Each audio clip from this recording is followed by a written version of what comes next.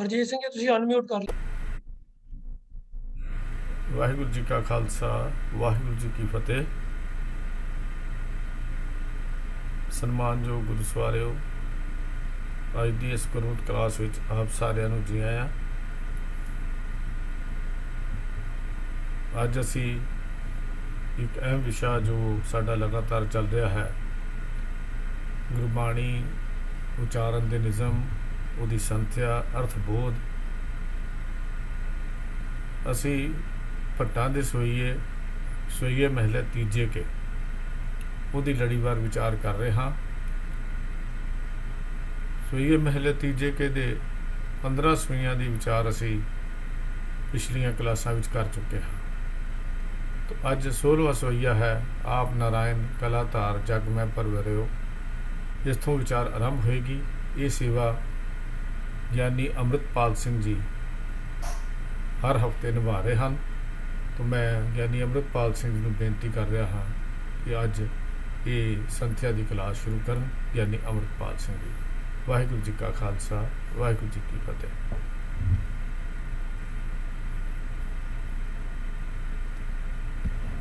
ਸਤਿਕਾਰਯੋਗ Sikh missionary college ਦੇ chairman ਸਾਹਿਬ ਸਰਦਾਰ ਹਰਜੀਤ ਸਿੰਘ ਜੀ ਅਤੇ ਹੋਰ ਵੀ ਸਾਰੇ ਵਿਦਵਾਨ ਸੱਜਣ। ਸਰਦਾਰ ਐਮਪੀ ਸਿੰਘ ਜੀ, ਸਰਦਾਰ ਰਾਜਾ ਸਿੰਘ ਜੀ ਗਿਆਨੀ ਜਗੀਰ ਸਿੰਘ ਜੀ ਅਤੇ ਸਾਰੀ ਹੀ ਸਾਧ ਸੰਗਤ ਜੋ ਕਿ ਰੋਜ਼ਾਨਾ ਹੀ ਜ਼ੂਮ ਦੀ ਇਸ ਕਲਾਸ ਦੇ ਉੱਤੇ ਆਪ ਹਾਜ਼ਰ ਹੁੰਦੇ ਹੋ। ਹਮੇਸ਼ਾ ਦੀ ਤਰ੍ਹਾਂ ਹੀ ਮੰਗਲਵਾਰ ਦੀ ਇਸ ਭੱਟਾਂ ਦੇ ਸਵਈਆਂ ਦੀ ਵਿਆਕਰਨਿਕ ਵਿਚਾਰ ਦੇ ਵਿੱਚ ਆਪ ਅੱਜ ਵੀ ਹਾਜ਼ਰ ਹੋਏ ਹੋ। ਜਿਹਦੇ ਵਿੱਚ ਅਸੀਂ ਸਤਿਗੁਰੂ ਸਾਹਿਬ, ਸ੍ਰੀ ਗੁਰੂ ਅਮਰਦਾਸ ਸਾਹਿਬ ਜੀ ਮਹਾਰਾਜ, ਤੀਸਰੇ ਗੁਰਦੇਵ ਜੀ ਦੀ ਸਿਫਤ ਸਲਾਹ ਦੇ ਸਵਈਏ ਭੱਟਾਂ ਦੇ ਮੁਖਾਰਬਿਨ ਤੋਂ ਉਚਾਰਨ ਉਹਨਾਂ ਦੀ ਵਿਚਾਰ ਕਰ ਰਹੇ ਹਾਂ।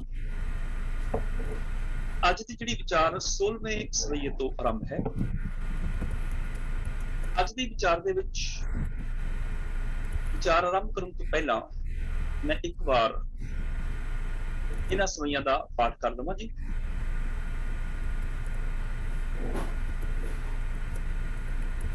ਕਹਿੰਦੇ ਇਹ ਆਵਾਜ਼ ਦਾ ਦੇਖੋ ਕੁਝ ਸੋਚਦੇ ਹੋ ਕਹਿੰਦੇ ਆਵਾਜ਼ ਘੱਟ ਆ ਰਹੀ ਕਾਫੀ। ਅੱਛਾ ਜੀ। ਸਤਿਗੁਰੂ ਸਾਹਿਬ, ਸ੍ਰੀ ਗੁਰੂ ਅਮਰਦਾਸ ਸਾਹਿਬ ਜੀ ਦੀ ਸਿਫਤ ਦੇ ਸਵਈਏ ਅਸੀਂ ਵਿਚਾਰ ਰਹੇ ਹਾਂ, ਜਿਨ੍ਹਾਂ ਦੇ ਵਿੱਚ 16ਵੇਂ ਸਵਈਏ ਤੋਂ ਅੱਜ ਦੀ ਇਹ ਵਿਚਾਰ ਆਰੰਭ ਹੈ। ਸਤਨਾਮ ਵਾਹਿਗੁਰੂ ਸਾਹਿਬ ਜੀਓ। ਆਪ ਨਾਰਾਇਣ ਕਲਾਤਾਰ ਜਗ ਮੈਂ ਪਰਵਰਿਓ ਨਿਰੰਕਾਰ ਆਕਾਰ ਜੋਤ ਜਗ ਮੰਡਲ ਕਰਿਓ ਆਪ ਨਾਰਾਇਣ ਕਲਾਤਾਰ ਜਗ ਮਹਿ ਪਰਵਰਿਓ ਨਿਰੰਕਾਰ ਆਕਾਰ ਜੋਤ ਜਗ ਮੰਡਲ ਕਰਿਓ ਜਹ ਕਹਿ ਤਹ ਭਰਪੂਰ ਸ਼ਬਦ ਦੀਪਕ ਦੀ ਪਾਇਓ ਜੇ ਸਿੱਖੈ ਸੰਗਰਿਓ, ਤਤ ਹਰ ਚਰਨ ਮਿਲਾਇਓ। ਨਾਨਕ ਕੁਲ ਨਿਮਲ ਅਵਤਰਿਓ, ਅੰਗਦ ਲੈਣੇ ਸੰਗ ਹੋਇਓ। ਗੁਰ ਅਮਰਦਾਸ ਤਾਰਨ ਤਰਨ, ਜਨਮ ਜਨਮ ਪਾਸ਼ਰਨ ਤੋ। ਵਾਹਿਗੁਰੂ ਜੀ ਕਾ ਖਾਲਸਾ। ਵਾਹਿਗੁਰੂ ਜੀ ਕੀ ਫਤਿਹ। ਸਤਕਾਰਯੋਗ ਪਟ ਸਹਿਬਾਨ, ਸਹਿਬ ਸ੍ਰੀ ਗੁਰੂ ਅਮਰਦਾਸ ਸਾਹਿਬ ਜੀ ਮਹਾਰਾਜ, ਤੀਸਰੇ ਗੁਰਦੇਵ ਜੀ ਦੀ ਸਿਫਤ ਸਦਾ ਉਚਾਰ ਰਹੇ ਹਨ। ਜਿਸ ਵਿੱਚ ਉਹਨਾਂ ਨੇ ਅਕਾਲ ਪੁਰਖ ਸਾਹਿਬ ਜੀ ਦੀ ਸਿਫਤ ਤੋਂ ਪ੍ਰਭਤਾ ਕੀਤੀ। ਭੱਟ ਕੀਰਤ ਜੀ ਦਾ ਇਹ ਜਿਹੜਾ ਸਵਈਆ ਹੈ ਆਪ ਨਰਾਇਣ ਕਲਾਧਾਰ, ਆਪ ਦੇ ਪੱਪੇ ਨੂੰ ਸਿਹਾਰੀ, ਆਪ ਹੀ। ਨਾਰਾਇਣ ਦੇ ਨਾਣੇ ਨੂੰ ਔਂਕੜ ਹੈਗੀ ਹੈ। ਇਹਦਾ ਮਤਲਬ ਇਹ ਇੱਕ ਵਚਨ ਪਲਿੰਗ ਸ਼ਬਦ ਹੈ, ਨਾਰਾਇਣ ਭਾਵ ਪ੍ਰਭੂ। ਕਲਾ ਧਾਰ ਧਾਰ ਦੇ ਰਾਲੇ ਨੂੰ ਆਗੀ ਸਿਆਰੀ ਕਲਾ ਧਾਰ ਕੇ ਕਲਾ ਨੂੰ ਰਚ ਕੇ, ਸਤਿਆ ਨੂੰ ਰਚ ਕੇ। ਜਗ ਮੈਂ ਪਰਵਰਿਓ ਜਗ ਜਗਤ ਤੇ ਇੱਕ ਵਚਨ ਹੈ ਪੁਲਿੰਗ ਹੈ ਪਰ ਕਿ ਮਹਿ ਸੰਬੰਧਕ ਨੇ ਜਗ ਦੀ ਔਂਕੜ ਹਟਾ ਦਿੱਤੀ ਪਰ ਵਰਿਓ ਮੈਨੇ ਪ੍ਰਵਿਰਤ ਹੋਇਆ ਹੈ ਜਿਹੜਾ ਨਾਰਾਇਣ ਹੈ ਆਪ ਹੀ ਜਿਹੜਾ ਨਾਰਾਇਣ ਹੈ ਉਹ ਸੱਤਾ ਰਚ ਕੇ ਜਗਤ ਵਿੱਚ ਪ੍ਰਵਿਰਤ ਹੋ ਗਿਆ ਕਿਵੇਂ ਪ੍ਰਵਿਰਤ ਹੋ ਗਿਆ ਨਿਰੰਕਾਰ ਆਕਾਰ ਆਕਾਰ ਹੋਇਆ ਆਕਾਰ ਰੂਪ ਬਣਿਆ ਕੌਣ ਨਿਰੰਕਾਰ ਨੇ ਨਿਰੰਕਾਰ ਮੈਨੇ ਜਿਹਦਾ ਆਕਾਰ ਨਾ ਹੋਵੇ। ਰਾਰੇ ਨੂੰ ਆ ਗਈ ਸਿਆਰੀ ਤੇ ਅੱਗੇ ਕਰ ਕੀ ਅਰਥ ਬਣ ਜਾਏਗਾ? ਨਿਰੰਕਾਰ ਨੇ ਆਕਾਰ ਆਕਾਰ ਰੂਪ ਲਿਆ। ਜਿਹੜਾ ਨਿਰ ਸੀ, ਉਹ ਆਕਾਰ ਵਿੱਚ ਆ ਗਿਆ। ਜਿਹੜਾ ਨਿਰਗੁਣ ਸੀ, ਉਹ ਸਰਗੁਣ ਦੇ ਵਿੱਚ ਆ ਗਿਆ। ਜੋਤ ਜਗ ਮੰਡਲ ਕਰਿਓ। ਜੋਤ ਇਸਤਰੀ ਲਿੰਗ ਸ਼ਬਦ ਹੋਣ ਕਰਕੇ ਔਰ ਤਤਸਮ ਸ਼ਬਦ ਹੋਣ ਕਰਕੇ ਜੋਤ ਤੱਤੇ ਨੂੰ ਇੱਥੇ ਸਿਆਰੀ ਨਾਲ ਆਇਆ ਗਿਆ। ਜਗ ਮੰਡਲ ਕਰਿਓ। ਜਗਤ, ਜਗ ਦੇ ਗੱਗੇ ਨੂੰ ਔਂਕੜ ਤਾਂ ਨਹੀਂ ਆਈ, ਅੱਗੇ ਲੁਪਤ ਸੰਬੰਧਕ ਆ ਗਿਆ ਜਗ ਦੇ। ਮੰਡਲ ਦੇ ਲਾਰੇ ਨੂੰ ਲੱਲੇ ਨੂੰ ਸਿਆਰੀ ਆ ਗਈ। ਮੈਨੇ ਮੰਡਲ ਵਿੱਚ, ਜਗਤ ਦੇ ਮੰਡਲ ਵਿੱਚ ਕਰਿਓ। ਮੈਨੇ ਜੋਤ ਪ੍ਰਗਟਾ ਦਿੱਤੀ, ਜੋਤ ਕਰ ਦਿੱਤੀ।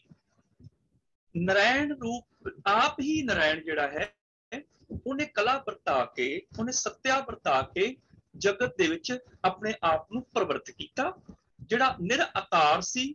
ਉਹ ਆਕਾਰ ਹੋਇਆ। ਨਿਰੰਕਾਰ ਨੇ ਆਕਾਰ ਰੂਪ ਬਣਿਆ, ਬਣਾਇਆ, ਜੋਤ ਜਗ ਮੰਡਲ ਕਰਿਓ, ਜਗਤ ਰੂਪ ਵਿੱਚ ਜੋਤ ਰੂਪ ਚ ਉਹਨੇ ਪ੍ਰਗਟਾ ਲਿਆ। ਇੱਥੇ ਭਾਵੇਂ ਗੁਰੂ ਅਮਰਦਾਸ ਪਾਤਸ਼ਾਹ ਜੀ ਦਾ ਵੀ ਜ਼ਿਕਰ ਹੁੰਦਾ ਹੈ ਕਿ ਭੱਟ ਜਿਹੜੇ ਨੇ ਗੁਰੂ ਅਮਰਦਾਸ ਪਾਤਸ਼ਾਹ ਨੂੰ ਕਹਿ ਰਹੇ ਨੇ ਕਿ ਇਹ ਗੁਰੂ ਅਮਰਦਾਸ ਸਾਹਿਬ ਜੀ, ਆਪ ਹੀ ਨਰਾਇਣ ਰੂਪ ਹੈ ਗੁਰੂ ਅਮਰਦਾਸ ਸਾਹਿਬ ਜੀ, ਜਿਨ੍ਹਾਂ ਨੇ ਆਪਣੀ ਸੱਤਾ ਰਚ ਕੇ ਜਗਤ ਵਿੱਚ ਪ੍ਰਵਿਰਤ ਹੋਏ ਨੇ। ਨਿਰੰਕਾਰ ਨੇ ਪ੍ਰਭੂ ਨੇ ਗੁਰੂ ਅਮਰਦਾਸ ਪਾਤਸ਼ਾਹ ਦਾ ਆਕਾਰ ਰੂਪ ਹੋ ਕੇ ਜਗਤ ਵਿੱਚ ਜੋਤ ਪ੍ਰਗਟਾਈ ਹੈ। ਇਹਦੇ ਨਾਲ ਹੀ ਇੱਕ ਗੁਰਮਤਿ ਦਾ ਸਿਧਾਂਤ ਸਾਹਮਣੇ ਹੈ। ਉਹ ਇਹ ਹੈ ਕਿ ਨਿਰੰਕਾਰ ਹੀ ਆਕਾਰ ਬਣਿਆ ਹੈ। ਜਿਹੜਾ ਨਿਰਆਕਾਰ ਹੈ, ਜਿਹਦਾ ਆਕਾਰ ਨਹੀਂ ਹੈ, ਉਹੀ ਆਕਾਰ ਬਣਿਆ ਇੱਕ ਅਕਸਰ ਸਵਾਲ ਜਦੋਂ ਸਾਹਮਣੇ ਆਉਂਦਾ ਹੈ, ਛੋਟਾ ਜਿਹਾ ਸਵਾਲ, ਉਹਦਾ ਬੜਾ ਸੰਖੇਪ ਜਿਹਾ ਜਵਾਬ ਮਿਲਦਾ ਹੈ। ਇਹ ਦੁਨੀਆ ਨੂੰ ਕਿਨੇ ਬਣਾਇਆ? ਸੰਸਾਰ ਨੂੰ ਕਿਨੇ ਬਣਾਇਆ? ਤੇ ਸਿੰਪਲ ਜਿਹਾ ਜਵਾਬ ਆ ਜਾਂਦਾ ਹੈ ਵੀ ਰੱਬ ਨੇ। ਦੁਨੀਆ ਕਿਨੇ ਬਣਾਈ? ਰੱਬ ਨੇ। ਦੁਨੀਆ ਭਰ ਦੇ ਗ੍ਰੰਥ ਇਹ ਗੱਲ ਕਹਿ ਰਹੇ ਨੇ। ਤੇ ਗੁਰਬਾਣੀ ਵੀ ਜੇ ਇਸ ਤਰ੍ਹਾਂ ਕਵੇ ਕਿ ਦੁਨੀਆ ਨੂੰ ਕਿਨੇ ਬਣਾਇਆ? ਰੱਬ ਨੇ। ਫਿਰ ਇਹ ਨਵੇਕਲਾ ਗਿਆਨ ਨਹੀਂ ਹੈ, ਕਿਉਂਕਿ ਗੁਰਬਾਣੀ ਕਹਿੰਦੀ ਹੈ, ਪੰਡਤ ਮੁੱਲਾ ਜੋ ਲਿਖ ਦਿਆ ਛਾੜ ਚਲੇ ਹਮ ਕੁਛ ਨਾ ਲਿਆ। ਗੁਰਮਤਿ ਨੇ ਇੱਕ ਵੱਖਰਾ ਸਿਧਾਂਤ ਦੇ ਦਿੱਤਾ।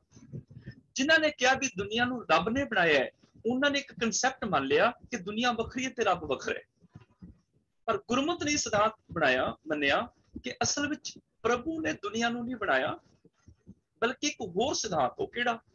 ਮਾਨੋ ਰੱਬ ਨੇ ਦੁਨੀਆ ਨੂੰ ਬਣਾਇਆ ਇਸ ਤਰ੍ਹਾਂ ਮਾਨੋ ਜਿਵੇਂ ਮੈਂ ਕਮਾਂ ਇਸ ਕਮਰੇ ਨੂੰ ਕਿਨੇ ਬਣਾਇਆ ਤੇ ਕੋਈ ਜਵਾਬ ਦੇਗਾ ਵੀ ਮਿਸਤਰੀ ਨੇ।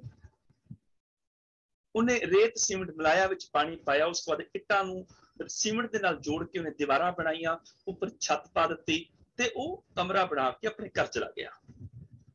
ਦੁਨੀਆ ਨੂੰ ਕਿਨੇ ਬਣਾਇਆ? ਰੱਬ ਨੇ। ਰੱਬ ਨੇ ਮਿੱਟੀ ਇਕੱਠੀ ਕੀਤੀ, ਗੋਲ ਕਰਕੇ ਉਹਦੀ ਧਰਤੀ ਬਣਾ ਦਿੱਤੀ। ਥੋੜੇ ਜਿਹੇ ਪੱਥਰ ਟਿਕਾ ਦਿੱਤੇ, ਉਹ ਪਹਾੜ ਬਣ ਗਏ। ਫਿਰ ਉਹਨੇ ਪਾਣੀ ਦੀਆਂ ਬਾਲਟੀਆਂ ਭਰ ਭਰ ਕੇ ਪਾਈਆਂ, ਉਹ ਸਮੁੰਦਰ ਬਣ ਗਿਆ। ਤੇ ਉਹ ਫਿਰ ਚਲਾ ਗਿਆ। ਕਿਤੇ 7ਵੇਂ 11ਵੇਂ ਅਸਮਾਨ ਦੇ ਉੱਪਰ ਜਾ ਕੇ ਉਹ ਰਹਿਣ ਲੱਗ ਪਿਆ। ਪਰ ਗੁਰਮਤ ਨੇ ਇਹ ਗੱਲ ਨੂੰ ਪ੍ਰਵਾਨ ਨਹੀਂ ਕੀਤਾ ਕਿ ਮਨ ਨੂੰ ਰੱਬ ਨੇ ਇਸ ਤਰ੍ਹਾਂ ਦੁਨੀਆ ਬਣਾਈ ਤੇ ਮਿੱਟੀ ਕਿੱਥੋਂ ਆਈ? ਪਾਣੀ ਕਿੱਥੋਂ ਆਇਆ? ਪੱਥਰ ਕਿੱਥੋਂ ਆਏ? ਇਸ ਕਰਕੇ ਗੁਰਮਤ ਨੇ ਕਹਿ ਦਿੱਤਾ ਕਿ ਪ੍ਰਭੂ ਆਪ ਹੀ ਹਵਾ ਬਣਿਆ, ਆਪ ਹੀ ਉਹ ਪਾਣੀ ਬਣ ਗਿਆ, ਆਪ ਹੀ ਉਹ ਜੀਵ ਬਣ ਗਿਆ, ਉਹ ਨਿਰੰਕਾਰ ਸੀ ਤੇ ਆਕਾਰ ਬਣ ਗਿਆ। ਨਿਰ ਤੋਂ ਆਕਾਰ ਰੂਪ ਵਿੱਚ ਆ ਗਿਆ ਅਵਿਗਤੋ ਨਿਰਮਾਇਲ ਉਪਜੇ, ਨਿਰਗੁਣ ਤੇ ਸਰਗੁਣ ਥੀਆ। ਥੀਆ ਮਨੇ ਹੋ ਗਿਆ, ਨਿਰਗੁਣ ਤੋਂ ਸਰਗੁਣ ਹੋ ਗਿਆ ਉਹ। ਨਿਰਗੁਣ ਸੀ, ਉਹ ਸਰਗੁਣ ਰੂਪ ਚ ਹੋ ਗਿਆ। ਉਹਨੇ ਹਵਾ ਬਣਾਈ ਨਹੀਂ ਆਪ ਹਵਾ ਬਣ ਗਿਆ। ਪ੍ਰਭੂ ਨੇ ਪਾਣੀ ਬਣਾਇਆ ਨਹੀਂ ਹੈ, ਆਪ ਪਾਣੀ ਹੋ ਗਿਆ। ਸਾਚੇ ਤੇ ਪਵਨਾ ਭਇਆ ਭਇਆ ਮੈਨੇ ਹੋ ਗਿਆ। ਸੱਚ ਤੋਂ ਹਵਾ ਬਣ ਗਿਆ। ਸਾਚੇ ਤੇ ਪਵਨਾ ਭਇਆ, ਪਵਨੇ ਤੇ ਜਲ ਹੋਏ। ਪਵਨ ਤੋਂ ਉਹ ਜਲ ਬਣ ਗਿਆ, ਪਾਣੀ ਬਣ ਗਿਆ, ਜਲ ਤੇ ਤ੍ਰਿਭੁਵਨ ਸਾਜਿਆ। ਉਸ ਪਾਣੀ ਤੋਂ ਤਿੰਨਾਂ ਪਵਨਾਂ ਦੇ ਜੀਵਾਂ ਦੀ ਉਤਪਤੀ ਹੋਈ ਘਟ ਘਟ ਜੋਤ ਸਮੋਈ ਤੇ ਹਰ ਇੱਕ ਦੇ ਅੰਦਰ ਜੋਤ ਉਹੀ ਹੈ। ਉਹ ਨਿਰੰਕਾਰ ਹੀ ਆਕਾਰ ਬਣ ਕੇ ਜੋਤ ਨੂੰ ਉਹ ਪ੍ਰਗਟ ਕਰਦਾ ਹੈ ਸਾਰਿਆਂ ਜੀਵਾਂ ਦੇ ਵਿੱਚ। ਭਾਵ ਨਿਰਗੁਣ ਤੋਂ ਸਰਗੁਣ ਪਦਾਰਥ ਦੇ ਤਿੰਨੇ ਫਾਰਮ ਉਹਦੇ ਤੋਂ ਬਣੇ ਨੇ। ਜਿਹਦੇ ਵਿੱਚ ਪਦਾਰਥ ਦੇ ਜਿਹੜੇ ਤਿੰਨ ਫਾਰਮ ਹੈਗੇ ਨੇ, ਉਹ ਹੈਗੇ ਨੇ ਗੈਸ ਲਿਕੁਇਡ ਤੇ ਸੋਲਿਡ ਹਵਾ, ਤਰਲ ਤੇ ਠੋਸ। ਔਰ ਤਿੰਨਾਂ ਦਾ ਜ਼ਿਕਰ ਕਰ ਦਿੱਤਾ, ਸਾਚੇ ਤੇ ਪਵਣਾ ਪਿਆ, ਗੈਸ ਰੂਪੀ ਉਹ ਆਪ ਹੈ। ਪਵਣੇ ਤੇ ਜਲ ਹੋਏ ਲਿਕੁਇਡ ਵੀ ਉਹ ਆਪ ਹੈ, ਤਰਲ ਰੂਪੀ ਉਹ ਆਪ ਹੈ। ਜਲ ਤੇ ਤ੍ਰਿਭੁਵਨ ਸਾਜਿਆ, ਤਿੰਨੇ ਪਵਨਾਂ ਦੇ ਜੀਵ ਸੋਲਿਡ ਜਿਹੜੇ ਨੇ, ਠੋਸ ਰੂਪੀ ਉਹ ਆਪ ਹੈ। ਭਾਵ ਤਿੰਨੇ ਗੁਣ ਪਦਾਰਥ ਦੇ ਜਿਹੜੇ ਨੇ, ਉਸ ਨਿਰਗੁਣ ਤੋਂ ਹੀ ਪ੍ਰਵਰਤ ਹੋਏ ਨੇ। ਜਿਹਨੂੰ ਸਤਿਗੁਰੂ ਪਾਤਸ਼ਾਹ ਨੇ ਬਾਣੀ ਚ ਕਹਿ ਦਿੱਤਾ, ਪਵਨ ਗੁਰੂ, ਪਾਣੀ ਪਿਤਾ, ਮਾਤਾ ਧਰਤ ਮਾਤ ਉਹ ਪਵਨ, ਪਾਣੀ ਤੇ ਧਰਤੀ ਤਿੰਨੇ ਹੀ ਪਦਾਰਥ ਦੇ ਰੂਪ ਆ ਗਏ। ਤਿੰਨੇ ਰੂਪ, ਤਿੰਨੇ ਫਾਰਮ ਆ ਗਏ। ਭਾਵ ਪ੍ਰਭੂ ਆਪ ਹੀ ਸਰਗੁਣ ਰੂਪ ਦੇ ਵਿੱਚ ਆਇਆ। ਨਿਰਗੁਣ ਆਪ ਸਰਗੁਣ ਵੀ ਉਹੀ ਕਲਾਧਾਰ ਜਿਨ ਸਗਲੀ ਮੋਹੀ ਉਹਨੇ ਐਸੀ ਕਲਾ ਧਾਰੀ ਆਪ ਨਰਾਇਣ ਕਲਾਧਾਰ ਜਗ ਮੈਂ ਪਰਵਰਿਓ। ਹੁਣ ਭੱਟ ਕਿਉਂ ਕਿ ਗੁਰੂ ਅਮਰਦਾਸ ਪਾਤਸ਼ਾਹ ਜੀ ਨੂੰ ਰੱਬ ਦੇ ਨਾਲ ਤੁਲਨਾ ਦੇ ਕੇ ਸਿਫਤ ਕਰਦੇ ਨੇ? ਇਸ ਕਰਕੇ ਕਹਿ ਦਿੱਤਾ ਕਿ ਗੁਰੂ ਅਮਰਦਾਸ ਪਾਤਸ਼ਾਹ ਆਪ ਹੀ ਨਰਾਇਣ ਹਨ, ਜਿਹੜੇ ਕਲਾ ਧਾਰ ਕੇ ਜਗਤ ਵਿੱਚ ਆ ਗਏ। ਭਾਵ ਪ੍ਰਭੂ ਸੰਸਾਰ ਬਣ ਗਿਆ। ਪਰ ਭੱਟ ਆਖਦੇ ਨੇ, ਸਾਡੀਆਂ ਨਜ਼ਰਾਂ 'ਚ ਇਹ ਗੁਰੂ ਅਮਰਦਾਸ ਪਾਤਸ਼ਾਹ, ਉਹੀ ਸਾਡਾ ਨਰਾਇਣ ਹੈ। ਜਿਹੜਾ ਕਲਾ ਧਾਰ ਕੇ, ਸੱਤਿਆ ਰਚ ਕੇ ਜਗਤ ਵਿੱਚ ਪ੍ਰਵਿਰਤ ਹੋ ਗਿਆ, ਦੁਨੀਆ ਦੇ ਰੂਪ ਵਿੱਚ ਬਦਲ ਗਿਆ। ਸਾਡੇ ਲਈ ਤੂੰ ਹੀ ਨਿਰੰਕਾਰ ਹੈ, ਜਿਸ ਨਿਰੰਕਾਰ ਨੇ ਆਕਾਰ ਬਣਾਇਆ ਹੈ। ਨਿਰੰਕਾਰ ਆਕਾਰ, ਜੋਤ ਜਗ ਮੰਡਲ ਕਰਿਓ, ਜਿਨੇ ਜਗਤ ਵਿੱਚ ਜੋਤ ਪ੍ਰਗਟਾਈ ਹੈ। ਸਾਰੇ ਜੀਵਾਂ ਦੇ ਅੰਦਰ ਜੋਤ ਜਗਾਈ ਹੈ। ਏਕਾ ਜੋਤ ਜੋਤ ਹੈ ਸਰੀਰਾ, ਸ਼ਬਦ ਦਿਖਾਏ ਸਤਿਗੁਰ ਪੂਰਾ। ਤੇ ਗੁਰੂ ਨੇ ਕੀ ਕੀਤਾ? ਸ਼ਬਦ ਰਾਹੀਂ ਉਹ ਜੋਤ ਨੂੰ ਪ੍ਰਗਟ ਕੀਤਾ। ਜਹ ਕਹਿਤੈ ਭਰਪੂਰ ਸ਼ਬਦ ਦੀਪਕ ਦੀਪਾਇਓ, ਜੇ ਸਿੱਖੈ ਸੰਗਰਿਓ ਤਤ ਹਰ ਚਰਨ ਮਿਲਾਇਓ। ਜਹ ਕਹਿਤੈ ਭਰਪੂਰ ਸ਼ਬਦ। ਹੁਣ ਇੱਥੇ ਸ਼ਬਦ ਜਿਹੜਾ ਹੈ, ਉਹ ਦੱਤੇ ਨੂੰ ਔਂਕੜ ਦੇ ਨਾਲ ਆਇਆ ਹੈ। ਭਾਵ ਇੱਕ ਵਚਨ ਸ਼ਬਦ। ਉਹ ਸ਼ਬਦ ਕੀ ਹੈ? ਭਰਪੂਰ। ਉਹਦੀ ਵਿਸ਼ੇਸ਼ਤਾ, ਉਹਦਾ ਵਿਸ਼ੇਸ਼ਣ ਹੈ, ਉਹ ਹਰ ਥਾਂ ਤੇ ਹੈ। ਜ਼ਰੇ ਜ਼ਰੇ ਵਿੱਚ ਹੈ। ਜਿਹੜਾ ਉਹ ਸ਼ਬਦ ਹੈ, ਜ਼ਰੇ ਜ਼ਰੇ ਦੇ ਵਿੱਚ ਹੈ, ਜਹ ਕਹਿ ਤੈ ਭਰਪੂਰ, ਜਹ ਮੈਨੇ ਜਿੱਥੇ, ਕਹਿ ਮੈਨੇ ਕਿੱਥੇ, ਤਹ ਮੈਨੇ ਤਿੱਥੇ, ਜਿੱਥੇ ਕਿੱਥੇ ਤਿੱਥੇ, ਹਰ ਥਾਂ ਤੇ ਸ਼ਬਦ, ਭਰਪੂਰ ਸ਼ਬਦ, ਵਿਆਪਕ ਸ਼ਬਦ। ਭਾਵ ਜਿਹੜਾ ਵਿਆਪਕ ਸ਼ਬਦ ਹੈ, ਦੀਪਕ ਦੀ ਪਾਇਓ। ਦੀਪਕ ਨੇ, ਇੱਥੇ ਦੀਪਕ ਦੇ ਕੱਕੀ ਨੂੰ ਆ ਗਈ ਸਿਆਰੀ। ਤੇ ਇਹਦਾ ਅਰਥ ਬਣ ਗਿਆ ਦੀਵੇ ਦੇ ਨਾਲ ਕਹਿ ਲਓ ਜਾਂ ਉਸ ਦੀਵੇ ਦੇ ਨਾਲ, ਦੀਵੇ ਦੇ ਰਾਹੀਂ, ਦੀਵੇ ਦੇ ਦੁਆਰਾ ਸਿਆਰੀ ਦੇ ਅਰਥ ਰਾਹੀਂ, ਦੁਆਰਾ ਤੇ ਨਾਲ ਇੱਕੋ ਜਿਹੇ ਨੇ। ਜਿਵੇਂ ਗੁਰਪ੍ਰਸਾਦ ਦੇ ਦੱਦੇ ਨੂੰ ਸਿਆਰੀ ਆ ਗਈ, ਪ੍ਰਸਾਦ ਰਾਹੀਂ, ਪ੍ਰਸਾਦ ਨਾਲ, ਪ੍ਰਸਾਦ ਦੁਆਰਾ।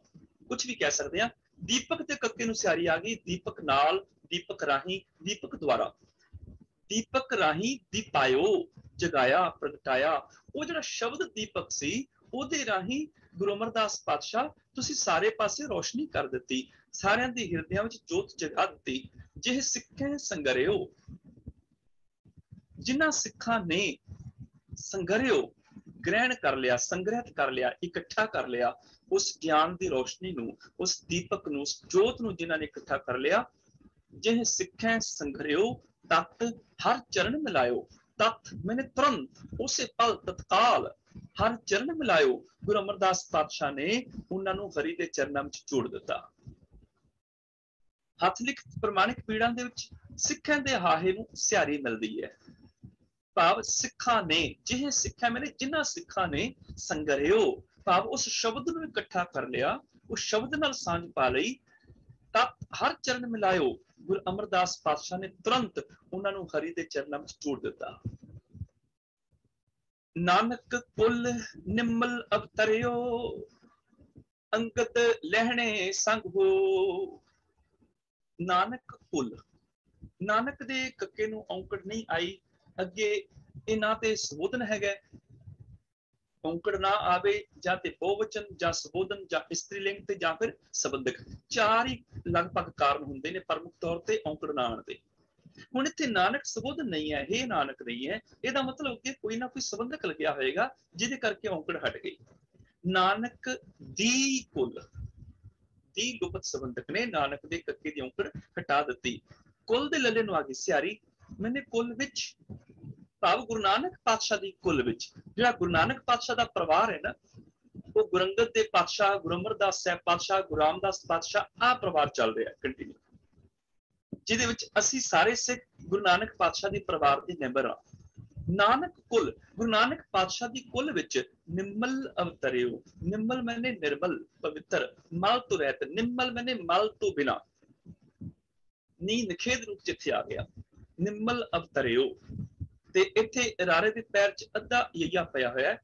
ਅਵਤਰਿਓ ਮੈਨੇ ਅਵਰ- ਅਵਤਰਤ ਹੋਇਆ, ਭਾਵ ਪ੍ਰਗਟ ਹੋਇਆ, ਆ ਗਿਆ। ਔਰ ਹੱਥਲਿਕ ਵੀੜਾ ਵਿੱਚ ਇਹ ਜਿਹੜਾ ਪਾਠ ਹੈਗਾ ਆਮ ਤੌਰ ਤੇ ਮਿਲਦਾ ਹੈ ਨਿਰਮਲ। ਨਿਰਮਲ ਦੀ ਥਾਂ ਤੇ ਨਿਰਮਲ ਮਿਲਦਾ ਹੈ। ਅਵਤਰਿਓ ਤੇ ਉੱਥੇ ਰਰੇ ਦੇ ਪੈਰ ਦੇ ਵਿੱਚ ਅੱਧਾ ਯਈਆ ਵੀ ਨਹੀਂ ਹੈ। ਪ੍ਰਿੰਟਡ ਵੀੜਾਂ ਦੇ ਵਿੱਚ ਅਸੀਂ ਨਿਰਮਲ ਤੇ ਅਵਤਰਿਓ ਪਾਠ ਪੜ੍ਹਦੇ ਹਾਂ। ਨਾਨਕ ਕੁਲ ਨਿਮਲ ਅਵਤਰਿਓ। ਭਾਵ ਗੁਰੂ ਨਾਨਕ ਪਾਤਸ਼ਾਹ ਦੀ ਕੁਲ ਵਿੱਚ ਨਿਰਮਲ ਅਵਤਾਰ ਹੋਇਆ। ਭਾਵ ਗੁਰੂ ਅਮਰਦਾਸ ਪਾਤਸ਼ਾਹ ਜੀ ਪਵਿੱਤਰ ਗੁਰੂ ਨਾਨਕ ਦੀ ਕੁਲ ਵਿੱਚ ਆਏ ਨੇ। ਉਹਨਾਂ ਦਾ ਅਵਤਾਰ ਗੁਰੂ ਨਾਨਕ ਦੀ ਕੁਲ ਵਿੱਚ ਹੋਇਆ। ਉਦੋਂ ਹੋਇਆ ਜਦੋਂ ਗੁਰੂ ਨਾਨਕ ਦੇ ਦਰ ਤੇ ਪ੍ਰਬੰਧ ਚੜੇ ਉਦੋਂ ਹੋਇਆ ਨਾਨਕ ਕੁਲ ਨਿਮਲ ਅਵਤਰਿਓ, ਅੰਗਦ ਲੈਣੇ ਸੰਗ ਹੋ। ਹੋ ਮੈਨੇ ਹੋ ਕੇ। ਅਸੀਂ ਪਿੱਛੇ ਵੀ ਵਿਚਾਰ ਕੇ ਗਏ ਆ ਜਦੋਂ ਅਖੀਰ ਤੇ ਕਿਸੇ ਸ਼ਬਦ ਦੇ ਅੱਖਰ ਅਖੀਰ ਦੇ ਵਿੱਚ ਐੜਾ ਮੁਕਤਾ ਆ ਜਾਂਦਾ ਹੈ, ਉਸ ਤੋਂ ਜਿਹੜੀ ਪਹਿਲੀ ਲੱਗ ਲੱਗੀ ਹੁੰਦੀ ਹੈ, ਭਾਵੇਂ ਉਹ ਸਿਆਰੀ ਹੈ, ਭਾਵੇਂ ਔਂਕੜ ਹੈ, ਭਾਵੇਂ ਹੋੜ ਹੈ, ਉਹਦੀ ਆਵਾਜ਼ ਲੰਮੀ ਹੋ ਜਾਂਦੀ ਹੈ। ਇੱਥੇ ਹਾਹੇ ਤੇ ਔਂਕੜ ਲੱਗੀ ਹੋਈ ਆ ਖੂ ਦੀ ਆਵਾਜ਼ ਲੰਮੀ ਹੋ ਜਾਏਗੀ ਹੋ ਡਬਲ ਇਹਦਾ ਉਚਾਰਨ ਹੋ ਜਾਏਗਾ। ਹੋ ਅੰਗਦ ਲੈਣੇ ਸੰਗ ਹੋ, ਭਾਵ ਗੁਰ ਅੰਗਦ ਪਾਤਸ਼ਾਹ ਜੀ ਲੈਣੇ ਜੀ ਦੇ ਨਾਲ ਇੱਥੇ ਦੰਦੇ ਨੂੰ ਔਂਕੜ ਤਾਂ ਨਹੀਂ ਆਈ ਦੇ ਸੰਬੰਧ ਕੀ ਆ ਗਿਆ? ਭਾਈ ਲੈਣੇ ਜੀ, ਭਾਵ ਗੁਰੰਗਦ ਦੇ ਪਾਤਸ਼ਾਹ ਦੇ ਨਾਲ ਮਿਲ ਕੇ, ਹੋ ਕੇ ਗੁਰ ਅਮਰਦਾਸ ਪਾਤਸ਼ਾਹ ਜੀ ਨਿਰਮਲ ਅਵਤਾਰ ਰੂਪ ਦੇ ਵਿੱਚ ਅਵਤਰਿਤ ਹੋਏ ਹਨ। ਨਾਨਕ ਕੁਲ ਨਿਮਲ ਅਵਤਰਿਓ, ਅੰਗਦ ਲੈਣੇ ਸੰਗ ਹੋ ਸੰਗ ਦੇ ਗੱਗੇ ਨੂੰ ਸਿਆਰੀ ਇਸ ਕਰਕੇ ਕਿਉਂਕਿ ਸੰਬੰਧਕ ਹੈਗਾ ਤੇ ਜਿੱਥੇ ਸੰਗ ਦੇ ਗੱਗੇ ਨੂੰ ਸਿਆਰੀ ਨਾ ਹੋਵੇ, ਸੰਗ ਦੇ ਗੱਗੇ ਨੂੰ ਔਂਕੜ ਹੋਵੇ, ਉੱਥੇ ਜਿਹੜਾ ਸੰਗ ਲਫ਼ਜ਼ ਹੈਗਾ ਫਿਰ ਉਹ ਇੱਕ ਵਚਨ ਪਲਿੰਗ ਰੂਪ ਦੇ ਵਿੱਚ ਆ ਜਾਂਦਾ ਵੈ। ਇੱਕ ਵਚਨ ਪਲਿੰਗ ਰੂਪ ਦੇ ਭਾਵ ਕਿ ਉਹ ਫਿਰ ਇੱਕ ਵਚਨ ਪਲਿੰਗ ਬਣ ਕੇ ਸਾਥ ਦੇ ਅਰਥ ਦਿੰਦਾ ਵੈ, ਸਾਥ। ਸੰਗ ਮੈਨੇ ਸਾਥ। ਤਿੰਨ ਸੰਗ ਸੰਗ ਨਾ ਕੀਚਈ। ਭਾਵ ਉਹਨਾਂ ਦੇ ਨਾਲ ਸੰਗਤ ਨਾ ਕਰੋ, ਸਾਥ ਨਾ ਦਿਓ। ਤਿੰਨ ਸੰਗ ਸੰਗ ਨਾ ਕੀਚਈ। ਇਹ ਜਿਹੜਾ ਸ਼ਬਦ ਅਸੀਂ ਅਕਸਰ ਪੜ੍ਹਦੇ ਹੈਗੇ ਆ, ਜੇ ਨਾਨਕ ਜਿਨ੍ਹਾਂ ਆਪਣਾ ਸਵਾਉ ਇਹਦੇ ਵਿੱਚ ਲਗਭਗ ਚਾਰ ਵਾਰੀ ਸੰਗ ਆਉਂਦਾ ਹੈ। ਸੱਚੀ ਬੈਸਕ ਤਿੰਨ ਸੰਗ, ਜਿਨ ਸੰਗ ਜਪੀਆ ਨਾਉ ਸੱਚੀ ਬੈਸਕ ਮੈਨੇ ਸੱਚਾ ਬਹਿਣ ਖਲੋਣ ਉਹਨਾਂ ਦੇ ਨਾਲ ਹੈ, ਜਿਨ ਸੰਗ ਜਪੀਆ ਨਾਉ ਮੈਂ ਇੱਥੇ ਤੁਹਾਨੂੰ ਦਿਖਾ ਵੀ ਦਿੰਦਾ ਵਾਂ, ਕਿਉਂਕਿ ਇਹ ਬਹੁਤ ਕੀਮਤੀ ਸ਼ਬਦ ਹੈਗਾ, ਜਿਹੜਾ ਸਾਨੂੰ ਸਮਝਣਾ ਚਾਹੀਦਾ ਹੈ। ਮੈਂ ਇੱਥੇ ਆਪ ਜੀ ਨੂੰ ਸ਼ੇਅਰ ਕਰ ਦਿੰਦਾ ਵਾਂ ਤੇ ਆਪ ਦੇਖ ਲੈਣਾ ਜੀ। ਸੱਚੀ ਬੈਸਕ ਤਿਨਾ ਸੰਗ, ਇੱਥੇ ਸੰਗ ਦੇ ਗੱਗੇ ਨੂੰ ਆ ਗਈ ਸਿਆਰੀ ਭਾਵ ਨਾਲ। ਜਿੱਥੇ ਸਿਆਰੀ ਆ ਗਈ, ਉੱਥੇ ਸੰਬੰਧਕ ਆ ਗਿਆ। ਜਿਨ ਸੰਗ ਜਪੀਆਂ ਨਾਓ ਇੱਥੇ ਫਿਰ ਸੰਗ ਆ ਗਿਆ ਸਿਆਰੀ ਨਾਲ, ਜਿਨ੍ਹਾਂ ਨਾਲ ਬੈਠ ਕੇ ਪ੍ਰਭੂ ਨੂੰ ਜਪਿਆ ਜਾਏ। ਤਿੰਨ ਸੰਗ, ਇੱਥੇ ਫਿਰ ਸੰਗ ਤੇ ਗੱਗੇ ਨੂੰ ਸਿਆਰੀ ਆ ਗਈ। ਉਹਨਾਂ ਦੇ ਨਾਲ ਇੱਥੇ ਅੱਗੇ ਆ ਗਿਆ ਸੰਗ ਗੱਗੇ ਨੂੰ ਔਂਕੜ ਨਾਲ, ਸਾਥ। ਇਹਦਾ ਅਰਥ ਬਣ ਗਿਆ ਸਾਥ। ਤਿੰਨ ਸੰਗ ਸੰਗ ਨਾ ਕੀਚਈ ਨਾਨਕ, ਜਿਨ੍ਹਾਂ ਆਪਣਾ ਸੁਆਉ ਇਹ ਨਾਨਕ, ਜਿਨ੍ਹਾਂ ਦੀ ਆਪਣੀ ਗਰਜ ਹੋਵੇ, ਉਹਨਾਂ ਦਾ ਸਾਥ ਨਹੀਂ ਕਰਨਾ ਚਾਹੀਦਾ।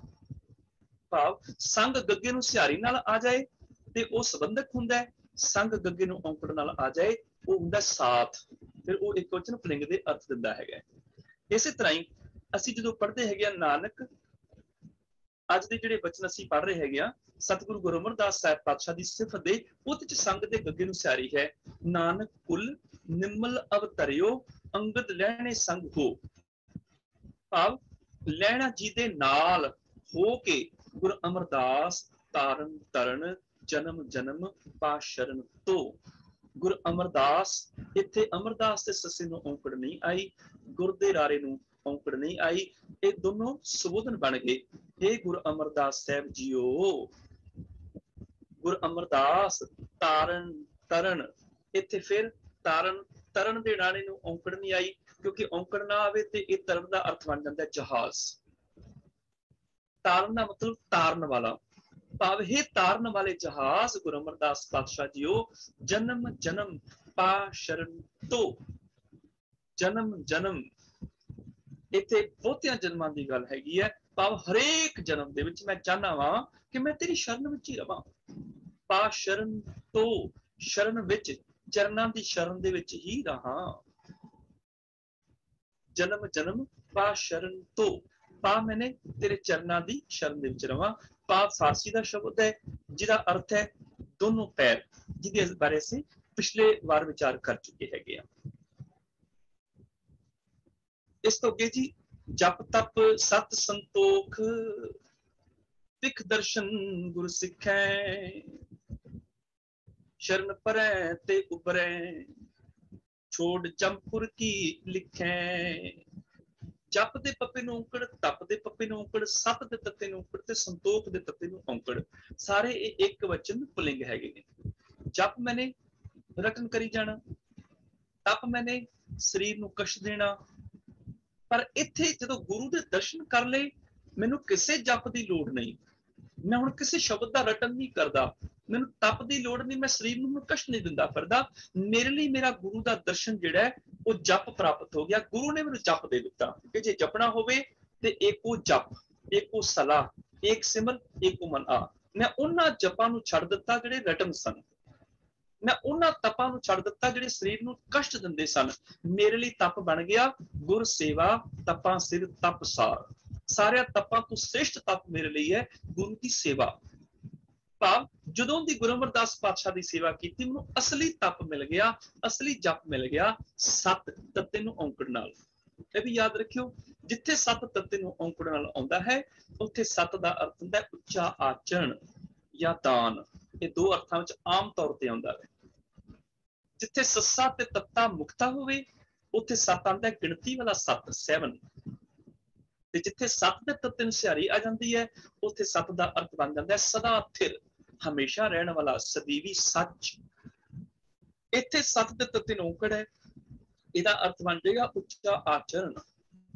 ਭਾਵ ਜਦੋਂ ਦਾ ਗੁਰੂ ਦਾ ਦਰਸ਼ਨ ਕੀਤਾ, ਗੁਰੂ ਦੇ ਦਰਸ਼ਨਾਂ ਨਾਲ ਮੇਰੇ ਜੀਵਨ 'ਚ ਉੱਚਾ ਆਚਰਣ ਪੈਦਾ ਹੋ ਗਿਆ। ਸੰਤੋਖ, ਇੱਥੇ ਖੱਖੇ ਨੌਕੜ ਆ ਗਈ। ਇੱਕ ਵਚਨ ਪ੍ਰੇਕ ਮੈਨੇ ਰੱਜ। ਰੱਜ ਆ ਗਿਆ। ਤ੍ਰਿਪਤੀ ਮਿਲ ਗਈ। ਜਪ, ਤਪ, ਸਤ, ਸੰਤੋਖ ਪਿਕ ਦਰਸ਼ਨ ਗੁਰ ਸਿੱਖੈ ਭਾਵ ਸਿੱਖਾਂ ਨੂੰ ਪਿਕ ਦੇ ਖੱਖੇ ਸਿਆਰੀ, ਦੇਖ ਕੇ ਭਾਵ ਗੁਰੂ ਨੂੰ ਦੇਖ ਕੇ, ਗੁਰੂ ਦੇ ਦਰਸ਼ਨ ਕਰਕੇ ਦਰਸ਼ਨ ਗੁਰ ਸਿੱਖੈ। ਇੱਥੇ ਦਰਸ਼ਨ ਦੇ ਨੰਨੇ ਨੂੰ ਆ ਗਈ ਔਂਕੜ ਤੇ ਗੁਰ ਦੇ ਰਾਰੇ ਨੂੰ ਔਂਕੜ ਨਹੀਂ ਆਈ। ਭਾਵ ਗੁਰੂ ਦੇ ਦਰਸ਼ਨ। ਦੇ ਸੰਬੰਧਕ ਦੇ ਕਰਕੇ ਗੁਰ ਦੇ ਰਾਰੇ ਦੀ ਔਂਕੜ ਹਟ ਗਈ। ਭਾਵ ਗੁਰੂ ਦੇ ਦਰਸ਼ਨ ਕਰਕੇ, ਸਤਿਗੁਰੂ ਗੁਰੂ ਅਮਰਦਾਸ ਪਾਤਸ਼ਾਹ ਜੀ ਦੇ ਦਰਸ਼ਨ ਕਰਕੇ, ਜਿਹੜੇ ਸਿੱਖ ਹੈ ਬਹੁਵਚਨ ਸਿੱਖ ਹੈ ਤੇ ਜਿਹੜੇ ਸਿੱਖ ਹੈ, ਉਹਨਾਂ ਨੂੰ ਜਪ, ਤਪ, ਸਤ ਤੇ ਸੰਤੋਖ ਪ੍ਰਾਪਤ ਹੋ ਜਾਂਦੇ ਨੇ। ਭਾਵ ਸਿੱਖਾਂ ਨੂੰ ਗੁਰੂ ਅਮਰਦਾਸ ਪਾਤਸ਼ਾਹ ਜੀ ਦੇ ਦਰਸ਼ਨ ਕਰਕੇ ਜਪ, ਤਪ, ਸਤ ਤੇ ਸੰਤੋਖ ਇਹ ਗੁਣ ਪ੍ਰਾਪਤ ਹੋ ਜਾਂਦੇ ਹਨ। ਸ਼ਰਨ ਪਰੈ ਤੇ ਉਬਰੈ ਛੋੜ ਜੰਪੁਰ ਕੀ ਲਿਖੈ। ਸ਼ਰਨ ਪਰੈ ਜਿਹੜੇ ਮਨੁੱਖ ਗੁਰੂ ਦੀ ਸ਼ਰਨ ਵਿੱਚ ਪੈਂਦੇ ਨੇ। ਤੇ ਉਬਰੈ ਤੇ ਬਹੁਤੇ ਆ ਗਏ। ਉਹ ਵਚਨ ਉਹ ਉਬਰੈ ਇਸ ਕਰਕੇ ਇਹ ਸਾਰੀਆਂ ਕਿਰਿਆਵਾਂ ਜਿਹੜੀਆਂ ਨੇ ਉਹ ਰੂਪ ਚ ਆ ਗਈਆਂ। ਸ਼ਰਨ ਪਰੈ ਉਹ ਸ਼ਰਨ ਵਿੱਚ ਪੈ ਜਾਂਦੇ ਨੇ, ਜਿਹੜੇ ਸ਼ਰਨ ਵਿੱਚ ਆ ਜਾਂਦੇ ਨੇ, ਤੇ ਉਬਰੈ ਉਹ ਬਚ ਜਾਂਦੇ ਨੇ। ਕਿੱਥੋਂ ਬਚ ਜਾਂਦੇ ਨੇ? ਛੋੜ ਜੰਪੁਰ ਕੀ ਲਿਖੈ। ਛੋੜ ਦੇ ਡੰਡੇ ਨੂੰ ਆ ਗਈ ਸਿਆਰੀ, ਛੱਡ ਕੇ ਜੰਪੁਰ ਆਤਮਕ ਮੌਤ ਦੀ। ਜੰਪੁਰ ਕੀ ਲਿਖੈ ਲਿਖਤ। ਜੰਪੁਰ ਦੀ ਲਿਖਤ ਨੂੰ ਛੱਡ ਕੇ ਉਹ ਪਾਰ ਲੰਘ ਜਾਂਦੇ ਨੇ। ਭਾਵ ਆਤਮਿਕ ਮੌਤ ਦੀਆਂ ਲਿਖਤਾਂ ਪਾੜ ਦਿੰਦੇ ਨੇ। ਆਤਮਿਕ ਤੌਰ ਤੇ ਮਰਦੇ ਨਹੀਂ ਹਨ। ਇੱਕ ਜੰਮ ਹੁੰਦਾ ਜਿਹੜਾ ਸਰੀਰ ਨੂੰ ਲਿਜਾਂਦਾ ਹੈ। ਉਸ ਜੰਮ ਦਾ ਅਰਥ ਹੈ ਮੌਤ। ਇੱਕ ਜੰਮ ਹੈ ਜਿਹੜਾ ਆਤਮਿਕ ਮੌਤ ਦਿੰਦਾ ਹੈ। ਉਸ ਜੰਮ ਦਾ ਅਰਥ ਹੈ ਵਿਕਾਰ। ਜਿਹੜੇ ਆਤਮਿਕ ਮੌਤ ਦਿੰਦੇ ਨੇ। ਜਿਹੜਾ ਵੀ ਆਤਮਿਕ ਮੌਤ ਦੇਵੇ, ਉਹੀ ਜੰਮ ਹੈ। ਜਿਹੜਾ ਵੀ ਆਤਮਿਕ ਮੌਤ ਦੇਵੇ। ਜ਼ਰੂਰੀ ਨਹੀਂ ਹੈ ਕਿ ਕਾਮ ਕ੍ਰੋਧ, ਲੋਭ, ਮੋਹ, ਹੰਕਾਰ, ਆਤਮਿਕ ਮੌਤ ਦਿੰਦੇ ਨੇ। ਆਸਾ ਤ੍ਰਿਸ਼ਨਾ, ਨਿੰਦਿਆ ਦ્વੈਸ਼ ਚੁਗਲੀ, ਪਾਪ, ਵਿਕਾਰ, ਗੁਨਾਹ, ਅਪਰਾਧ, ਆਤਮਿਕ ਮੌਤ ਦਿੰਦੇ ਨੇ। ਹੋ ਸਕਦਾ ਹੈ ਰਿਸ਼ਤੇਦਾਰ ਵੀ ਆਤਮਿਕ ਮੌਤ ਦਿੰਦੇ ਹੋਣ। ਹੋ ਸਕਦਾ ਦੋਸਤ, ਮਿੱਤਰ ਵੀ ਆਤਮਿਕ ਮੌਤ ਦਿੰਦੇ ਹੋਣ। ਭਾਵ ਜਿਨ੍ਹਾਂ ਨਾਲ ਮਿਲ ਕੇ ਮੈਨੂੰ ਆਤਮਿਕ ਤੌਰ ਤੇ ਮੌਤ ਮਿਲਦੀ ਹੈ, ਮੇਰੇ ਲਈ ਉਹ ਜਮਦੂਤ ਹੈ। ਇੱਕ ਜਮਦੂਤ ਹੈ ਮੌਤ, ਜਿਹੜੀ ਸਰੀਰ ਨੂੰ ਮਾਰਦੀ ਹੈ, ਸਰੀਰ ਦਾ ਜੀਵਨ ਖਤਮ ਕਰਦੀ ਹੈ ਤੇ ਆਤਮਿਕ ਜੀਵਨ ਦੇ ਵਿੱਚ ਜਮਦੂਤ ਉਹ ਨੇ ਜਿਹੜੇ ਮੈਨੂੰ ਰੱਬ ਨਾਲੋਂ ਤੋੜ ਦਿੰਦੇ ਨੇ। ਆਖਾਂ, ਜੀਵਾਂ ਵਿਸਰੈ ਮਰ ਜਾਓ। ਰੱਬ ਭੁੱਲ ਜਾਏ, ਮੇਰੀ ਮੌਤ ਹੋ ਜਾਂਦੀ ਹੈ। ਕੋਈ ਨਾ ਕੋਈ ਜਮਦੂਤ ਬਣ ਕੇ ਹੁੰਦਾ ਜਿਹੜਾ ਮੈਨੂੰ ਰੱਬ ਨਾਲੋਂ ਤੋੜ ਕੇ ਮਾਰ ਦਿੰਦਾ ਹੈ। ਗੁਰਦਨ ਦੇ ਪਾਤਸ਼ਾਹ ਨੇ ਇੱਕ ਬੜੀ ਵਧੀਆ ਉਦਾਹਰਨ ਦਿੱਤੀ। ਮੈਂ ਛੋਟੀ ਜਿਹੀ ਐਗਜ਼ਾਮਪਲ ਦੇ ਕੇ ਇਸ ਜੰਪੁਰ ਦੀ ਗੱਲ ਸਮਝਾ ਦਿੰਦਾ ਵਾਂ। ਕਿਸੇ ਆਦਮੀ ਦੇ ਘਰ ਕੋਈ ਮਹਿਮਾਨ ਆਇਆ, ਉਹਦਾ ਬਚਪਨ ਦਾ ਮਿੱਤਰ। ਉਸ ਆਦਮੀ ਨੂੰ ਬੜੀ ਖੁਸ਼ੀ ਹੋਈ, ਮੇਰੇ ਬਚਪਨ ਦਾ ਮਿੱਤਰ ਆਇਆ ਹੈ। ਉਹਨੇ ਆਪਣੇ ਬਚਪਨ ਦੇ ਮਿੱਤਰ ਦਾ ਸਵਾਗਤ ਕੀਤਾ, ਆਪਣੀ ਪਤਨੀ ਨੂੰ ਕਿਹਾ, ਮੇਰੇ ਬਚਪਨ ਦਾ ਮਿੱਤਰ ਹੈ, ਇਹਦੀ ਖੂਬ ਸੇਵਾ ਕਰਨੀ ਹੈ। ਉਹਨੂੰ ਚਾਹ ਪਾਣੀ ਛਕਾਈ। ਉਹ ਮਿੱਤਰ ਕਹਿਣ ਲੱਗਾ ਵੀ ਮੈਂ ਇੱਥੇ ਤੇਰੇ ਸ਼ਹਿਰ 'ਚ ਕਿਸੇ ਕੰਮ ਆਇਆ ਸੀ, ਕੰਮ ਪੂਰਾ ਹੋ ਗਿਆ ਤੇ ਰਾਤ ਤੇਰੇ ਘਰ ਰਹਿ ਕੇ ਮੈਂ ਸਵੇਰੇ ਚਲਾ ਜਾਵਾਂਗਾ। ਉਹ ਆਦਮੀ ਕਹਿਣ ਲੱਗਾ, ਠੀਕ। ਉਹਨੇ ਆਪਣੀ ਪਤਨੀ ਨੂੰ ਕਿਹਾ ਵੀ ਵਧੀਆ ਭੋਜਨ ਤਿਆਰ ਕਰ, ਮੈਂ ਆਪਣੇ ਮਿੱਤਰ ਦੀ ਖੂਬ ਖਾਤਰ ਕਰਨਾ ਚਾਹੁੰਦਾ। ਉਹਦੀ ਪਤਨੀ ਨੇ ਸਬਜ਼ੀਆਂ ਬਣਾਈਆਂ, ਦਾਲ ਬਣਾਈ, ਰਾਇਤਾ ਬਣਾਇਆ, ਸਲਾਦ ਬਣਾਇਆ, ਸਾਰਾ ਕੁਝ ਉਹਨੇ ਟੇਬਲ ਦੇ ਉੱਪਰ ਸਜਾ ਦਿੱਤਾ। ਸ਼ਾਮ ਦਾ ਸਮਾਂ ਸੀ, ਉਹ ਕਹਿਣ ਲੱਗੀ ਵੀ ਭੋਜਨ ਤਿਆਰ ਹੈ, ਛਕ ਲਓ। ਹੁਣ ਜਿਹੜਾ ਮਿੱਤਰ ਆਇਆ ਨਾ, ਉਹ ਝੂਠੇ ਜਿਹੇ ਦੰਦ ਕੱਢ ਕੇ ਆਖਦਾ ਕਿ ਪਹਿਲਾਂ ਛਕਣ ਜੋਗਾ ਕਰਤੇ ਲਓ। ਹੁਣ ਉਹ ਸਮਝ ਗਿਆ ਬੰਦਾ ਵੀ ਪੀਣ ਨੂੰ ਮੰਗਦਾ ਹੈ। ਉਹ ਜਾ ਕੇ ਬੋਤਲ ਫੜ ਲਿਆਇਆ। ਉਹ ਫਿਰ ਝੂਠੇ ਚ ਦੰਦ ਕੱਢ ਕੇ ਕਹਿੰਦਾ ਵੀ ਇਕੱਲੇ ਥੋੜੇ ਮਜ਼ਾ ਆਉਂਦਾ ਹੈ, ਜੰਮਣੀ ਚਾਹੀਦੀ ਹੈ। ਉਹਨੇ ਕੀ ਕੀਤਾ? ਆਂਢ ਗੁਆਂਢ ਆਪਣੇ ਗੁਆਂਢੀ ਦੋ ਚਾਰ ਬੁਲਾ ਲਏ। ਗੱਲ ਕੀ? ਮਹਿਫਿਲ ਜੰਮ ਗਈ। ਪੀਣ ਦਾ ਦੌਰ ਸ਼ੁਰੂ ਹੋਇਆ ਤੇ ਪਿੰਦਿਆਂ ਪਿੰਦਿਆਂ ਕਿਸੇ ਨੂੰ ਤਕਰਾਰ ਹੋਈ। ਇੱਕ ਦੂਜੇ ਨਾਲ ਲੜਨ ਲੱਗ ਪਏ। ਚੁੱਕ ਚੁੱਕ ਕੇ ਥਾਲ ਮਾਰਨ ਲੱਗ ਪਏ। ਦਾਲਾਂ ਦੇ ਡੋਂਗੇ ਖਿਲਰ ਗਏ ਸਬਜ਼ੀਆਂ ਖਿਲਰ ਗਈਆਂ। ਗਵਾਂਢੀ ਜਿਹੜੇ ਨੇ ਉਹ ਨਾਰਾਜ਼ ਹੋ ਕੇ ਗੁੱਸੇ ਹੋ ਕੇ ਚਲੇ ਗਏ ਤੇ ਇਹ ਆਦਮੀ ਇਹ ਵੀ ਰਾਤ ਸੁੱਤਾ ਸਵੇਰੇ ਉੱਠ ਕੇ ਇਹ ਵੀ ਤੁਰ ਪਿਆ।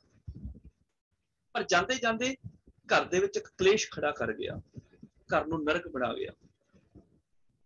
ਉਸੇ ਅਗਲੇ ਦਿਨ ਇੱਕ ਹੋਰ ਮਿੱਤਰ ਇਹਦੇ ਘਰ ਵਿੱਚ ਆਇਆ, ਉਹਨੇ ਵੀ ਦਰਵਾਜ਼ਾ ਖੜਕਾਇਆ। ਘਰ ਦੇ ਮਾਲਕ ਨੇ ਦਰਵਾਜ਼ਾ ਖੋਲ੍ਹਿਆ, ਸਵਾਗਤ ਕੀਤਾ, ਬਚਪਨ ਦਾ ਮਿੱਤਰ ਆਇਆ। ਉਹ ਆਦਮੀ ਵੀ ਕਹਿੰਦਾ ਵੀ ਮੈਂ ਇੱਥੇ ਕਿਸੇ ਕੰਮ ਆਇਆ, ਸਾਂ ਕੰਮ ਪੂਰਾ ਹੋ ਗਿਆ, ਦੇਰ ਹੋ ਗਈ ਹੈ, ਰਾਤ ਤੇਰੇ ਘਰ ਰੁਕ ਕੇ ਮੈਂ ਸਵੇਰੇ ਜਲਦੀ ਚਲਾ ਜਾਵਾਂਗਾ। ਉਹ ਘਰ ਦਾ ਮਾਲਕ ਆਪਣੀ ਪਤਨੀ ਨੂੰ ਕਹਿੰਦਾ, ਇਹ ਮੇਰੇ ਬਚਪਨ ਦਾ ਮਿੱਤਰ ਹੈ, ਬੜੇ ਸਾਲਾਂ ਬਾਅਦ ਮਿਲਿਆ ਇਹਦੀ ਖੂਬ ਖਾਤਰ ਕਰਨੀ ਹੈ। ਫਿਰ ਭੋਜਨ ਤਿਆਰ ਕੀਤਾ, ਫਿਰ ਸਬਜ਼ੀਆਂ, ਦਾਲਾਂ ਤਿਆਰ ਕੀਤੀਆਂ, ਸਾਰਾ ਕੁਝ ਤਿਆਰ ਕਰਕੇ ਉਹਦੀ ਪਤਨੀ ਆਖਦੀ, ਆਪਣੇ ਪਤੀ ਨੂੰ ਵੀ ਭੋਜਨ ਤਿਆਰ ਹੈ, ਛਕ ਲਓ। ਉਹ ਮਾਲਕ ਆਪਣੇ ਮਿੱਤਰ ਨੂੰ ਆਖਦਾ ਵੀ ਭੋਜਨ ਤਿਆਰ ਹੈ, ਛਕ ਲਈਏ। ਤੇ ਜਿਹੜਾ ਮਿੱਤਰ ਆਇਆ ਉਹ ਆਖਦਾ ਹੁਣੇ, ਅਜੇ ਤੇ ਸ਼ਾਮ ਦਾ ਸਮਾਂ ਪਹਿਲਾਂ ਸੋਦਰ ਦਾ ਪਾਠ ਤੇ ਕਰ ਲਈਏ। ਉਹਨੇ ਚੌਂਕੜਾ ਮਾਰਿਆ ਸੋਦਰ ਦਾ ਪਾਠ ਸ਼ੁਰੂ ਕਰ ਦਿੱਤਾ, ਬਾਣੀ ਪੜਨ ਲੱਗ ਪਿਆ। ਨਾਲ ਹੀ ਪਤੀ ਪਤਨੀ ਵੀ ਆ ਕੇ ਬੈਠ ਗਏ, ਸਭ ਨੇ ਰਹਿਰਾ ਸਾਹਿਬ ਦਾ ਪਾਠ ਕੀਤਾ। ਉਸ ਤੋਂ ਬਾਅਦ ਲੰਗਰ ਪ੍ਰਸ਼ਾਦਾ ਭੋਜਨ ਛਕਿਆ। ਪ੍ਰਸ਼ਾਦਾ ਛਕਣ ਤੋਂ ਬਾਅਦ ਉਸ ਆਦਮੀ ਨੇ ਬੱਚਿਆਂ ਨੂੰ ਕੋਲ ਬੁਲਾ ਲਿਆ, ਆਓ ਤੁਹਾਨੂੰ ਇੱਕ ਸਾਖੀ ਸੁਣਾਵਾਂ।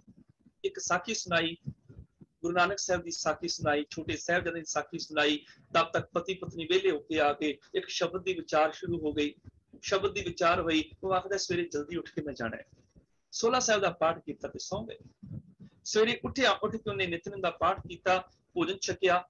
ਜਾਣ ਲੱਗਿਆ ਕਿ ਅਰਦਾਸ ਕਰਕੇ ਤੁਰਿਆ, ਹੈ ਸਤਿਗੁਰੂ ਪਾਤਸ਼ਾਹ, ਹੈ ਅਕਾਲ ਪੁਰਖ ਜੀਓ, ਇਸ ਘਰ ਪਰਿਵਾਰ ਤੇ ਮੇਰਾ ਭਰਿਆ ਹੱਥ ਰੱਖਣਾ, ਨਾਮ ਦੀ ਦਾਤ ਗੁਰ ਸਿੱਖੀ ਵਾਲਾ ਜੀਵਨ ਬਖਸ਼ਣਾ। ਨਾਨਕ ਨਾਮ ਚੜ੍ਹਦੀ ਕਲਾ ਤੇਰੇ ਪਾਣੀ ਸਰਬਤ ਦਾ ਭਲਾ ਕਹਿ ਕੇ ਤੁਰ ਗਿਆ। ਪਰ ਜਾਂਦੇ ਜਾਂਦੇ ਪਿੱਛੇ ਖੁਸ਼ੀਆਂ ਛੱਡ ਗਿਆ, ਆਨੰਦ ਛੱਡ ਗਿਆ। ਹੁਣ ਕੀ ਹੈ? ਇਹਦੇ ਵਿੱਚ ਇੱਕ ਆਤਮਿਕ ਮੌਤ ਦੇਣ ਵਾਲਾ ਉਹ ਜੰਮ ਹੈ। ਜਿਹਨੇ ਰੱਬ ਨਾਲੋਂ ਤੋੜ ਦਿੱਤਾ ਜਿਹਨੇ ਵਿਕਾਰਾਂ ਨਾਲ ਜੋੜ ਦਿੱਤਾ, ਨਸ਼ਿਆਂ ਨਾਲ ਜੋੜ ਦਿੱਤਾ, ਕਲੇਸ਼ ਝਗੜੇ ਦੇ ਨਾਲ, ਕ੍ਰੋਧ ਨਾਲ ਜੋੜ ਦਿੱਤਾ, ਉਹ ਹੈ ਜਮਦੂਤ। ਗੁਰਬਾਣੀ ਨੇ ਜਮਦੂਤ ਇਹਨੂੰ ਕਿਹਾ ਸਰਬ ਸ਼ਿੰਗਾਰ ਤੰਬੋਲ ਰਸ, ਸਣ ਦੇਹੀ ਸਭ ਖਾਮ, ਪ੍ਰਭ ਸੁਆਮੀ ਕੰਤ ਵੀ ਹੋਣੀਆਂ, ਮੀਤ ਸੱਜਣ ਸਭ ਜਾਮ। ਉਹ ਸੱਜਣ ਮਿੱਤਰ ਜਮ ਨੇ, ਜਿਹੜੇ ਸਾਨੂੰ ਰੱਬ ਨਾਲੋਂ ਤੋੜ ਕੇ ਆਤਮਿਕ ਮੌਤ ਦੇ ਦਿੰਦੇ ਨੇ। ਇੱਥੇ ਉਹਨਾਂ ਜਮਾਂ ਦੀ ਗੱਲ ਚੱਲ ਰਹੀ ਹੈ। ਉਹ ਸੱਜਣ ਮਿੱਤਰ ਬੜੇ ਭਲੇ ਨੇ ਜਿਹੜੇ ਰੱਬ ਨਾਲ ਜੋੜ ਦਿੰਦੇ ਨੇ। ਓਏ ਸਾਜਨ ਓਏ ਮੀਤ ਪਿਆਰੇ ਜੋ ਹਮਕੋ ਹਰ ਨਾਮ ਚਿਤਾਰੇ। ਉਹ ਮੇਰੇ ਅਸਲੀ ਸੱਜਣ ਮਿੱਤਰ ਨੇ ਜਿਹੜੇ ਪ੍ਰਭੂ ਨਾਲ ਮੈਨੂੰ ਜੋੜ ਦਿੰਦੇ ਨੇ। ਉਹ ਮੇਰੇ ਅਸਲੀ ਸੱਜਣ ਮਿੱਤਰ ਨੇ। ਹੁਣ ਇੱਥੇ ਜੰਮ ਦਾ ਮਤਲਬ ਆਤਮਿਕ ਮੌਤ ਦੇਣ ਵਾਲੇ ਵਿਕਾਰ। ਜਦੋਂ ਦਾ ਗੁਰੂ ਸ਼ਰਨ ਵਿੱਚ ਆਇਆ, ਹੁਣ ਆਤਮਿਕ ਮੌਤ ਦੇਣ ਵਾਲੇ ਵਿਕਾਰ ਹੁੰਦੇ ਹੀ ਨਹੀਂ ਹਨ। ਉਹਨਾਂ ਰਿਸ਼ਤੇਦਾਰਾਂ, ਮਿੱਤਰਾਂ ਦੇ ਨਾਲੋਂ ਮੇਰਾ ਨਾਤਾ ਟੁੱਟ ਗਿਆ। ਜਿਨ੍ਹਾਂ ਨਾਲ ਬੈਠ ਕੇ ਮੈਂ ਆਤਮਿਕ ਮੌਤੇ ਮਰ ਜਾਂਦਾ ਸਾਂ।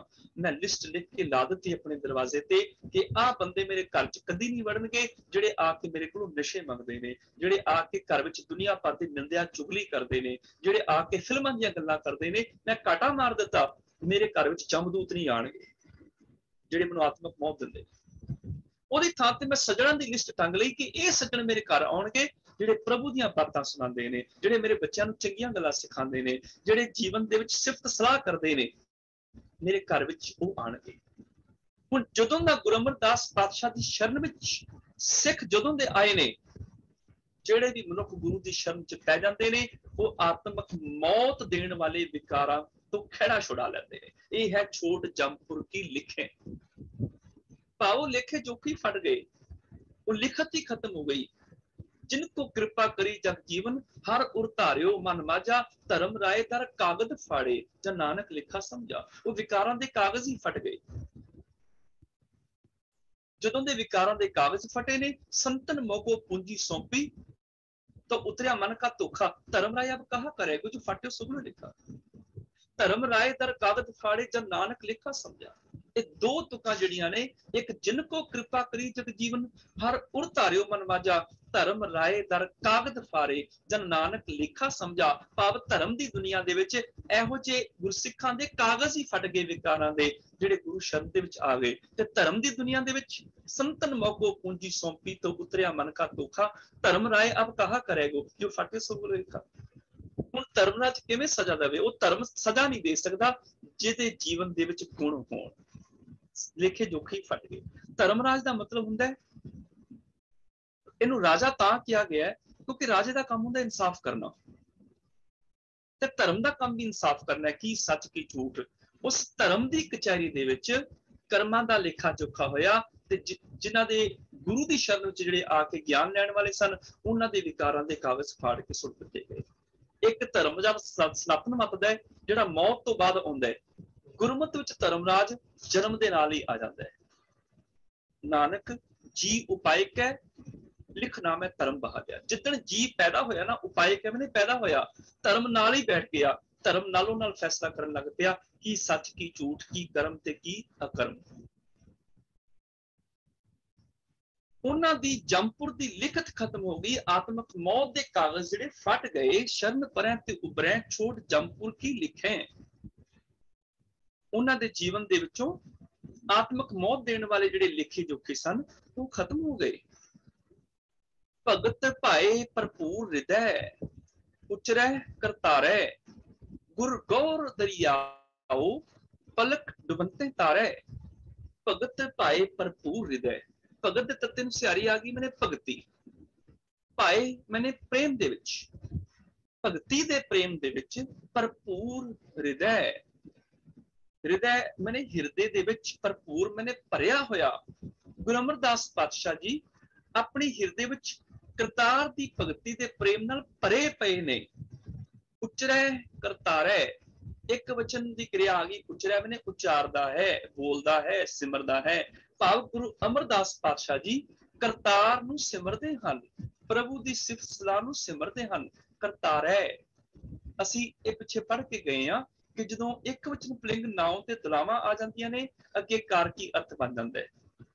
ਜਿਵੇਂ ਪਿੱਛੇ ਆਇਆ ਸੀ, ਨਾਮੈ ਸਮਾਣੀ। ਇਸੇ ਤਰ੍ਹਾਂ ਹੀ ਉਚਰੈ ਕਰਤਾਰੈ ਭਾਵ ਕਰਤਾਰ ਨੂੰ ਉਚਾਰਦੇ ਆ ਰੱਬ ਦੀ ਸਿਫਤ ਸਲਾਹ ਕਰਦੇ ਆ ਗੁਰੂ ਅਮਰਦਾਸ ਪਾਤਸ਼ਾਹ ਦਾ ਹਿਰਦਾ ਜਿਹੜਾ ਪ੍ਰਭੂ ਦੀ ਭਗਤੀ ਨਾਲ ਭਰ ਗਿਆ ਗੁਰ ਗੌਰ ਦਰਿਆਓ, ਗੌਰ ਮੈਨੇ ਗਹਿਰ, ਗੰਭੀਰ, ਇੱਕ ਵਚਨ ਪਲਿੰਗ ਹੋਣ ਕਰਕੇ ਰਾਰਾ ਔਂਕੜ ਨਾਲ ਆ ਗਿਆ। ਤੇ ਗੁਰ ਇੱਕ ਵਚਨ ਪਲਿੰਗ ਹੋਣ ਕਰਕੇ ਰਾਰਾ ਔਂਕੜ ਨਾਲ ਆ ਗਿਆ। ਦਰਿਆਓ, ਮੈਨੇ ਦਰਿਆ ਦਿਲ ਸਖੀ ਜਿਹਦਾ ਹਿਰਦਾ ਬੜਾ ਵਿਸ਼ਾਲ ਹੋਵੇ।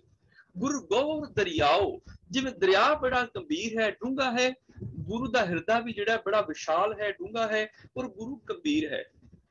ਪਲਕ ਪਲ ਦੇ ਵਿੱਚ ਡੁਬੰਤੇ ਤਾਰੇ ਡੁਬੰਤੇ ਮਨੇ ਡੁੱਬਦਿਆਂ ਨੂੰ ਡੁੱਬਦਿਆਂ ਨੂੰ ਤਾਰ ਦਿੰਦਾ ਹੈ। ਭਾਵ ਗੁਰੂ ਅਮਰਦਾਸ ਪਾਤਸ਼ਾਹ ਜੀ ਡੁੱਬਦਿਆਂ ਨੂੰ ਤਾਰ ਦਿੰਦੇ ਹਨ।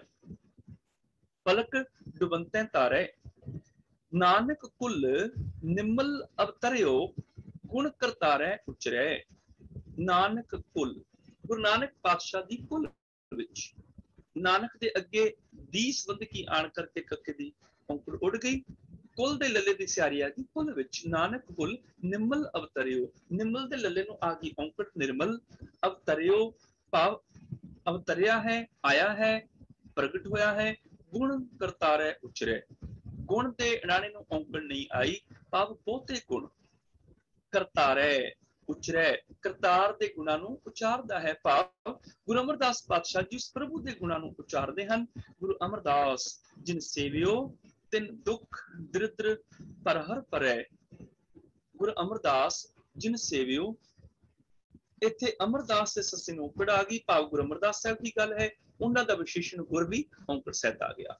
ਗੁਰੂ ਅਮਰਦਾਸ ਜਿਨ ਸੇਵਿਓ, ਜਿਨ੍ਹਾਂ ਨੇ ਵੀ ਗੁਰੂ ਅਮਰਦਾਸ ਪਾਤਸ਼ਾਹ ਨੂੰ ਸਿਮਰਿਆ ਹੈ। ਜਦੋਂ ਜਿਨ ਦੇ ਨੰਨੇ ਨੂੰ ਕੁਝ ਵੀ ਨਾ ਆਵੇ, ਉਦੋਂ ਬਹੁਵਚਨ ਸ਼ਬਦ ਹੁੰਦਾ ਹੈ। ਜਦੋਂ ਜਿਨ ਦੇ ਨੰਨੇ ਨੂੰ ਸਿਆਰੀ ਹੋਵੇ, ਉਦੋਂ ਇੱਕ ਵਚਨ ਹੁੰਦਾ ਜਿਸ ਨੇ।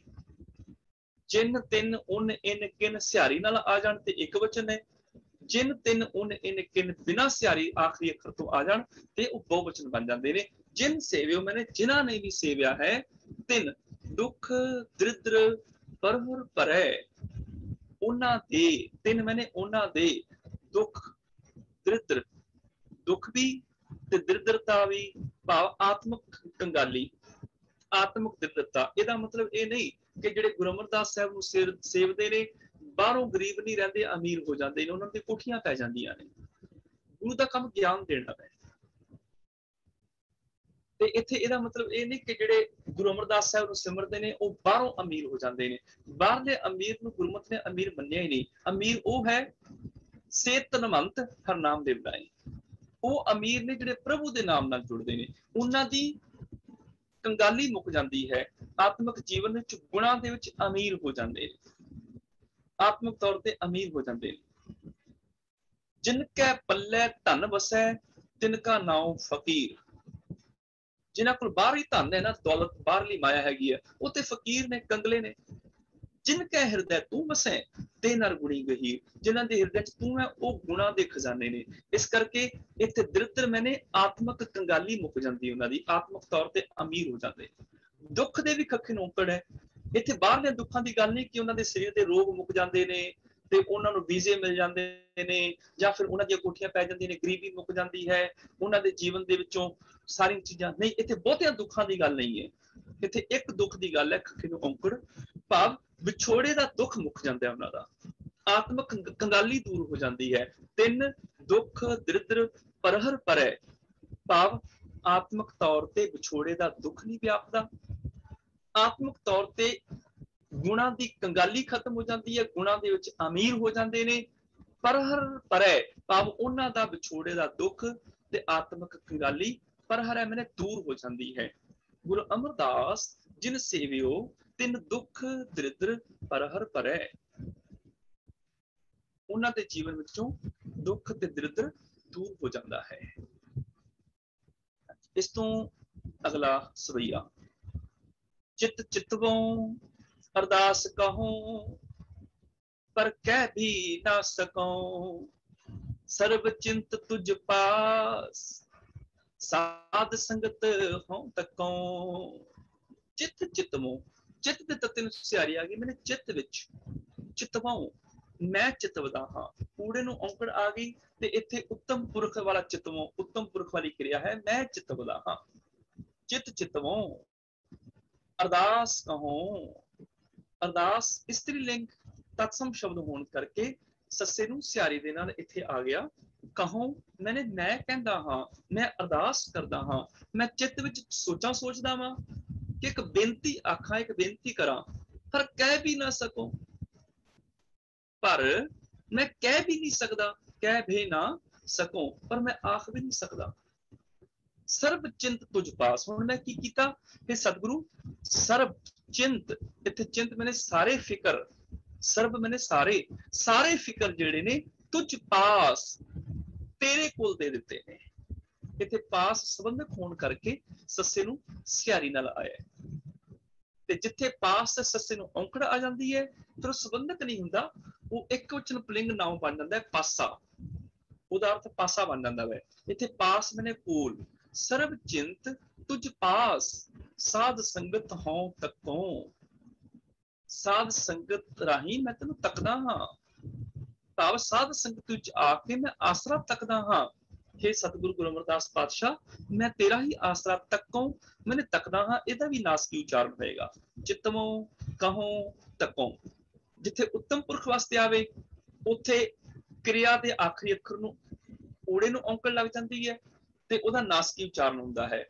ਤੱਕੋਂ, ਕਹੋ ਤੀਰਥ ਨਾਮਣ ਜਾਓ ਤੀਰਥ ਨਾਮ ਹੈ, ਮੈਂ ਜਾਂਦਾ ਹਾਂ।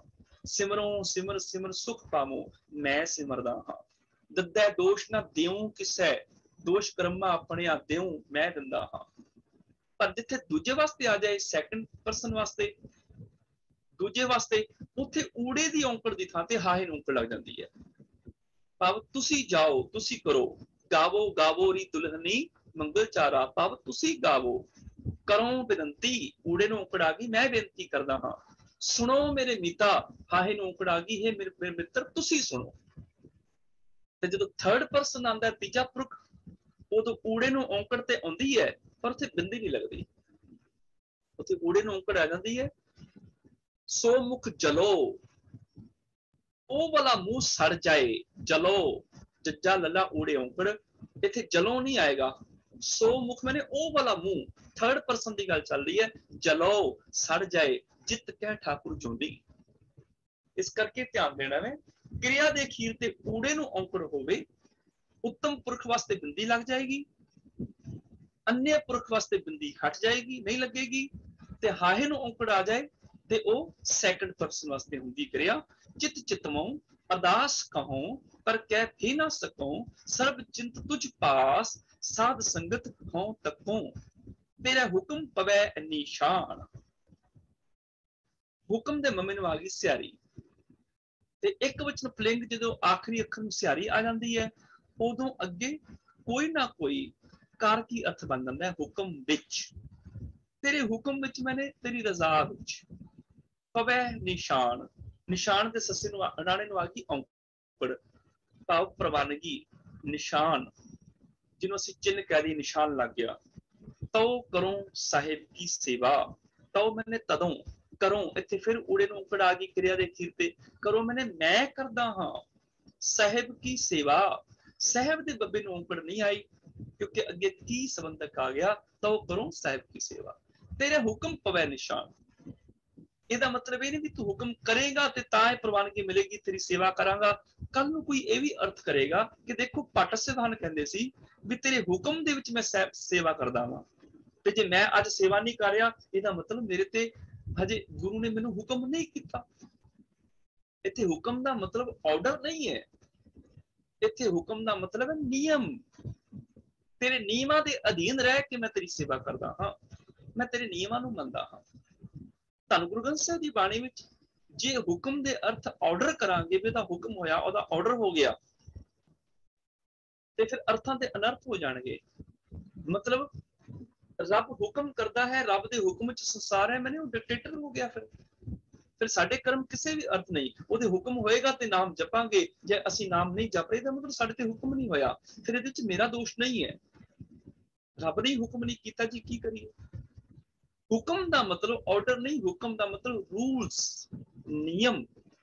ਉਹਦੇ ਨਿਯਮਾਂ ਦੇ ਵਿੱਚ, ਮੈਂ ਉਹਦੇ ਨਿਯਮਾਂ ਦੇ ਵਿੱਚ ਜਦੋਂ ਆ ਜਾਂਦਾ ਵਾਂ, ਜਦੋਂ ਉਹਦੇ ਸਿਸਟਮ ਦੇ ਦਾਇਰੇ ਦੇ ਵਿੱਚ ਆ ਜਾਂਦਾ ਵਾਂ, ਉਦੋਂ ਭਾਵ ਉਹਨੇ ਹੁਕਮ ਕੀਤਾ, ਉਹਨੇ ਨਿਯਮ ਬਣਾ ਦਿੱਤੇ, ਮੈਂ ਉਹਦੇ ਹੁਕਮ ਨੂੰ ਫੋਲੋ ਕਰਨਾ ਹੈ, ਉਹਦੇ ਨਿਯਮਾਂ ਨੂੰ ਮੰਨਣਾ ਹੈ। ਹੁਕਮੀ ਹੋਵਨ ਆਕਾਰ, ਉਹਦੇ ਨਿਯਮਾਂ ਦੇ ਵਿੱਚ ਆਕਾਰ ਬਣਦੇ ਨੇ। ਜਿੰਨੇ ਵੀ ਜੰਗਲ, ਪਹਾੜ, ਦਰਿਆ, ਉਹਦੇ ਪਿੱਛੇ ਕੋਈ ਨਾ ਕੋਈ ਨਿਯਮ ਕੰਮ ਕਰਦਾ ਹੈ। ਹੁਕਮ ਨਾ ਕਹਿਆ ਜਾਈ, ਸਾਰੇ ਨਿਯਮ ਦੱਸੇ ਨਹੀਂ ਜਾ ਸਕਦੇ। ਸਾਰੇ ਨਿਯਮ ਦੱਸੇ ਨਹੀਂ ਜਾ ਸਕਦੇ। ਕੁਝ ਨਿਯਮ ਐਸੇ ਨੇ ਜਿਨ੍ਹਾਂ ਤੱਕ ਮਨੁੱਖ ਦੀ ਪਹੁੰਚ ਨਹੀਂ। ਹੁਕਮੀ ਹੋਵਨ ਜੀ, ਜਿੰਨੇ ਜੀਵ ਪੈਦਾ ਹੋਏ ਨੇ, ਨਿਯਮਾਂ ਦੇ ਅਧੀਨ ਹੋਏ। ਕੋਈ ਨਿਯਮ ਕੰਮ ਕਰਦਾ ਹੈ। ਇਹ ਨਹੀਂ ਹੋ ਸਕਦਾ ਕਿ ਕਿਸੇ ਨੇ ਮੈਲ ਉਤਾਰੀ ਤੇ ਮੈਲ ਦਾ ਬੱਚਾ ਬਣਾ ਦਿੱਤਾ। ਜਾਂ ਘਾਹ ਇਕੱਠਾ ਕੀਤਾ, ਉਹ ਚ ਫੂਕ ਮਾਰੀ ਤੇ ਉਹਦੇ ਚ ਜਾਨ ਆ ਗਈ, ਬੱਚਾ ਬਣ ਗਿਆ। ਇਸ ਤਰ੍ਹਾਂ ਨਹੀਂ ਹੋ ਸਕਦਾ। ਉਹਦੇ ਪਿੱਛੇ ਜੀਵ ਜਦੋਂ ਵੀ ਪੈਦਾ ਹੋਏਗਾ, ਇੱਕ ਨਿਯਮ ਕੰਮ ਕਰੇਗਾ, ਜੈਸੇ ਮਾਤ ਪਿਤਾ ਬਿਨ ਬਾਲ ਨਾ ਹੋਈ, ਮਾਤਾ ਤੇ ਪਿਤਾ ਦੇ ਅੰਸ਼ ਤੋਂ ਹੀ ਬੱਚਾ ਹੋ ਸਕਦਾ ਹੈ। ਟੈਸਟ ਟਿਊਬ ਬੇਬੀ ਦੇ ਵਿੱਚ ਵੀ ਇਹ ਨਿਯਮ ਕੰਮ ਕਰਦਾ ਹੈ, ਜੈਸੇ ਮਾਤਾ ਪਿਤਾ ਪਿਰਵਾਲ ਨਾ ਹੁਕਮੀ ਹੋਵਨ ਜੀ ਹੁਕਮ ਮਿਲਿਆ ਵਡਿਆਈ, ਉਹਦੇ ਨਿਯਮਾਂ ਦੇ ਵਿੱਚ ਇੱਜ਼ਤ ਮਿਲਣੀ ਹੈ। ਮੈਂ ਕਿਸੇ ਨੂੰ ਮਿੱਠਾ ਬੋਲਦਾ, ਮੈਨੂੰ ਅੱਗੋਂ ਇੱਜ਼ਤ ਮਿਲ ਜਾਂਦੀ ਹੈ। ਹੁਕਮੀ ਹੋਵਨ ਜੀ ਹੁਕਮ ਮਿਲਿਆ ਵਡਿਆਈ, ਹੁਕਮੀ ਉੱਤਮ ਨੀਚ ਉਹਦੇ ਨਿਯਮਾਂ 'ਚ ਰਹਿ ਕੇ ਕੋਈ ਉੱਤਮ ਬਣ ਜਾਂਦਾ ਕੋਈ ਨੀਚ ਉਹਦਾ ਨਿਯਮ ਕਹਿੰਦਾ ਹੈ ਕਿ ਤੂੰ ਸੱਚ ਬੋਲੇਗਾ ਮਿੱਠਾ ਬੋਲੇਗਾ ਨਿਮਰਤਾ ਚਾਹੇਗਾ ਤੂੰ ਉੱਤਮ ਹੋ ਜਾਏਗਾ ਪਰ ਤੂੰ ਚੋਰੀ ਕਰੇਗਾ ਬੇਈਮਾਨੀ ਕਰੇਗਾ ਤੂੰ ਨੀਚ ਹੋ ਜਾਏਗਾ ਇਹ ਵੀ ਇੱਕ ਨਿਯਮ ਹੈ ਹੁਕਮੀ ਉੱਤਮ ਨੀਚ ਹੁਕਮ ਲਿਖ ਦੁੱਖ ਸੁੱਖ ਪਾਈਏ ਉਹਦੇ ਨਿਯਮਾਂ ਦੇ ਅਧੀਨ ਹੀ ਸੁੱਖ ਤੇ ਦੁੱਖ ਮਿਲਦੇ ਨੇ ਉਹਦੇ ਨਿਯਮਾਂ ਦੇ ਵਿੱਚ ਮੈਂ ਅੱਗ ਨੂੰ ਹੱਥ ਪਾਣਾ ਵਾ ਮੇਰਾ ਹੱਥ ਸੜ ਜਾਂਦਾ ਹੈ, ਮੈਂ ਦੁਖੀ ਹੋ ਜਾਂਦਾ ਉਹਦੇ ਨਿਯਮਾਂ ਦੇ ਅਧੀਨ ਮੈਂ ਉਸੇ ਅੱਗ ਦੀ ਵਰਤੋਂ ਕਰਦਾ ਭੋਜਨ ਬਣਾਉਣ ਦੇ ਲਈ ਭੋਜਨ ਖਾ ਕੇ ਮੈਂ ਸੁਖੀ ਹੋ ਜਾਂਦਾ ਜਿਵੇਂ ਜਿਵੇਂ ਉਹਦੇ ਨਿਯਮ ਜਿੱਦਾਂ ਵਰਤਦਾ ਵਾਂ, ਉਦਾਂ ਹੀ ਨਿਯਮਾਂ ਤੋਂ ਸੁੱਖ ਦੁੱਖ ਲੈ ਲੈਂਦਾ ਵਾਂ। ਹੁਕਮ ਲਿਖ ਦੁੱਖ ਸੁੱਖ ਪਾਈਆਂ, ਇੱਕ ਨਾ ਹੁਕਮੀ ਬਖਸ਼ੀਸ਼, ਇੱਕ ਹੁਕਮੀ ਸਦਾ ਪਵਾਈਆਂ ਕਈ ਉਹਦੇ ਨਿਯਮਾਂ ਦੇ ਵਿੱਚ ਬਖਸ਼ਿਸ਼ ਲੈ ਜਾਂਦੇ ਨੇ। ਭਾਵ ਸੋਹਣੇ ਜੀਵਨ ਦੇ ਨਾਲ ਦੁਨੀਆ 'ਚ ਇੱਜ਼ਤ ਖੜ ਜਾਂਦੇ ਨੇ। ਕਈ ਉਹਦੇ ਨਿਯਮਾਂ ਦੇ ਤਹਿਤ ਭਟਕਦੇ ਫਿਰਦੇ ਨੇ, ਚੋਰੀਆਂ ਵਿੱਚ, ਬੇਈਮਾਨੀਆਂ ਦੇ ਵਿੱਚ, ਝੂਠ ਦੇ ਵਿੱਚ, ਨਸ਼ਿਆਂ ਦੇ ਵਿੱਚ ਗਲਤਾਨ ਹੋ ਕੇ ਫਿਰ ਉਹ ਦੁੱਖ ਭੁੱਗੀ ਚਲੇ ਜਾਂਦੇ ਨੇ। ਉਹ ਵੀ ਉਹਦਾ ਨਿਯਮ ਹੈ ਹੁਕਮੇ ਅੰਦਰ ਸਭ ਕੋ ਬਾਹਰ ਹੁਕਮ ਨਾ ਕੋਈ ਹਰ ਜੀਵ ਉਹਦੇ ਨਿਯਮਾਂ ਵਿੱਚ ਚੱਲ ਰਿਹਾ, ਉਹਦੇ ਨਿਯਮ ਤੋਂ ਬਾਹਰ ਕੋਈ ਅਸੀਂ ਕਹਿੰਦੇ ਰੱਬ ਦੇ ਹੁਕਮ ਤੋਂ ਬਿਨਾਂ ਪਤਾ ਨਹੀਂ ਹਿਲਦਾ ਉਹ ਇਹ ਗੱਲ ਬਿਲਕੁਲ ਠੀਕ ਹੈ, ਉਹਦੇ ਨਿਯਮ ਤੋਂ ਬਿਨਾਂ ਪਤਾ ਨਹੀਂ ਹਿਲਦਾ ਨਿਯਮ ਕਹਿੰਦਾ ਵੀ ਹਵਾ ਚੱਲੇਗੀ ਤੇ ਪਤਾ ਹਿਲੇਗਾ, ਹਵਾ ਨਹੀਂ ਚੱਲੇਗੀ ਤੇ ਨਹੀਂ ਹਿਲੇਗਾ। ਉਹਦਾ ਨਿਯਮ ਕਹਿੰਦਾ ਵੀ ਕੋਈ ਪੱਤੇ ਨੂੰ ਹਿਲਾਏਗਾ ਤੇ ਹਿਲੇਗਾ, ਨਹੀਂ ਹਿਲਾਏਗਾ, ਨਹੀਂ ਹਿਲੇਗਾ। ਉਹਦੇ ਹੁਕਮ ਤੋਂ ਬਿਨਾ ਪਤਾ ਵੀ ਨਹੀਂ ਹਿਲਦਾ ਮੈਨੇ ਉਹਦੇ ਨਿਯਮ ਤੋਂ ਬਿਨਾ ਪਤਾ ਵੀ ਨਹੀਂ ਹਿਲਦਾ ਇਸ ਕਰਕੇ ਹੁਕਮੇ ਅੰਦਰ ਸਭ ਕੋ ਬਾਹਰ ਹੁਕਮ ਨਾ ਕੋਈ ਨਾਨਕ ਹੁਕਮ ਹੈ ਜੇ ਬੁੱਝੇ। ਇੱਥੇ ਨਿਯਮ ਹੈ ਜਿਹਨੂੰ ਬੁੱਝਣਾ ਹੈ। ਆਰਡਰ ਨਹੀਂ ਹੈ ਜਿਹੜਾ ਮੰਨਣ ਦੀ ਗੱਲ, ਇੱਥੇ ਨਿਯਮ ਦੀ ਗੱਲ ਚੱਲ ਰਹੀ ਹੈ। ਜੇ ਕੋਈ ਨਿਯਮ ਨੂੰ ਬੁੱਝ ਲਵੇ, ਤਾਂ ਹੋ ਮੈਂ ਕਹੇ ਨਾ ਕੋਈ, ਫਿਰ ਹੰਕਾਰ ਨਹੀਂ ਰਹੇਗਾ ਕਿ ਮੈਂ ਤੇ ਨਿਯਮਾਂ 'ਚ ਕੰਮ ਕੀਤਾ, ਮੈਨੂੰ ਫਲ ਮਿਲ ਗਿਆ, ਹੰਕਾਰ ਕਾਦਾ ਹੈ ਸੁੱਖ ਤੇ ਦੁੱਖ ਦੇ ਆਉਣ ਦਾ ਕਾਰਨ ਨਹੀਂ ਹੈ। ਜਦ ਲਗ ਹੁਕਮ ਨਾ ਬੁੱਝਤਾ, ਤਬ ਹੀ ਲੋ ਦੁਖੀਆ ਜਿੰਨਾ ਚ ਨਿਯਮਾਂ ਨੂੰ ਨਹੀਂ ਸਮਝਦਾ ਉਹਨਾਂ ਚ ਦੁਖੀ ਹੋ ਜਾਂਦਾ ਹੈ। ਗੁਰ ਮਿਲ ਹੁਕਮ ਪਛਾਣਿਆ ਗੁਰੂ ਨੂੰ ਮਿਲ ਕੇ ਜਦੋਂ ਨਿਯਮਾਂ ਨੂੰ ਸਮਝ ਲੈਂਦਾ ਹੈ, ਜ਼ਿੰਦਗੀ ਜਿਉਣ ਦੇ ਨਿਯਮ ਸਮਝ ਲੈਂਦਾ ਹੈ, ਤਦ ਹੀ ਤੇ ਸੁਖੀਆ ਸੁਖੀ ਹੋ ਜਾਂਦਾ ਹੈ। ਜਿੰਨਾ ਚਿਰ ਡਰਾਈਵਿੰਗ ਨਹੀਂ ਆਂਦੀ ਡਰਾਈਵਿੰਗ ਦੇ ਨਿਯਮ ਨਹੀਂ ਆਉਂਦੇ ਉਹਨਾਂ ਚਿਰ ਐਕਸੀਡੈਂਟ ਕਰਕੇ ਦੁਖੀ ਹੋ ਜਾਂਦਾ ਹੈ। ਜਦੋਂ ਇੰਸਟ੍ਰਕਟਰ ਨੂੰ ਮਿਲ ਕੇ ਨਿਯਮ ਸਿੱਖ ਲੈਂਦਾ ਡਰਾਈਵਿੰਗ ਦੇ, ਫਿਰ ਉਹ ਬੜੀ ਸੋਹਣੀ ਡਰਾਈਵਿੰਗ ਕਰਕੇ ਸੁਖੀ ਹੋ ਜਾਂਦਾ ਮੈਨੂੰ ਨਹੀਂ ਪਤਾ ਰੱਬ ਦੇ ਨਿਯਮ ਕੀ ਨੇ, ਮੈਂ ਗੁਰੂ ਇੰਸਟ੍ਰਕਟਰ ਨੂੰ ਮਿਲਦਾ ਵਾਂ, ਗੁਰੂ ਮੈਨੂੰ ਜ਼ਿੰਦਗੀ ਦੇ ਨਿਯਮ ਸਿਖਾਉਂਦਾ ਹੈ ਤੇ ਉਹਨਾਂ ਨਿਯਮਾਂ ਨੂੰ ਸਿੱਖ ਕੇ ਮੈਂ ਆਪਣੀ ਜ਼ਿੰਦਗੀ ਨੂੰ ਸੁਖੀ ਕਰ ਲੈਂਦਾ ਵਾਂ। ਤੇਰੇ ਹੁਕਮ ਪਵੇ ਨਿਸ਼ਾਨ। ਭਾਵ ਤੇਰੇ ਨਿਯਮਾਂ ਦੇ ਵਿੱਚ ਇੱਕ ਪ੍ਰਵਾਨਗੀ ਮਿਲੀ ਤਾਂ ਕਰੋ ਸਾਹਿਬ ਦੀ ਸੇਵਾ। ਜਦੋਂ ਮੈਂ ਤੇਰੇ ਨਿਯਮਾਂ ਵਿੱਚ ਚੱਲਦਾ, ਤੇਰੇ ਹੁਕਮ ਦੇ ਵਿੱਚ ਚੱਲਦਾ, ਤੇ ਉਦੋਂ ਮੈਂ ਤੇਰੀ ਸੇਵਾ ਕਰਾਂ। ਤੇਰੇ ਹੁਕਮਾਂ ਵਿੱਚ ਮੈਨੂੰ ਪ੍ਰਵਾਨਗੀ ਮਿਲ ਜਾਏ, ਮੈਂ ਤੇਰੀ ਸੇਵਾ ਕਰਾਂ।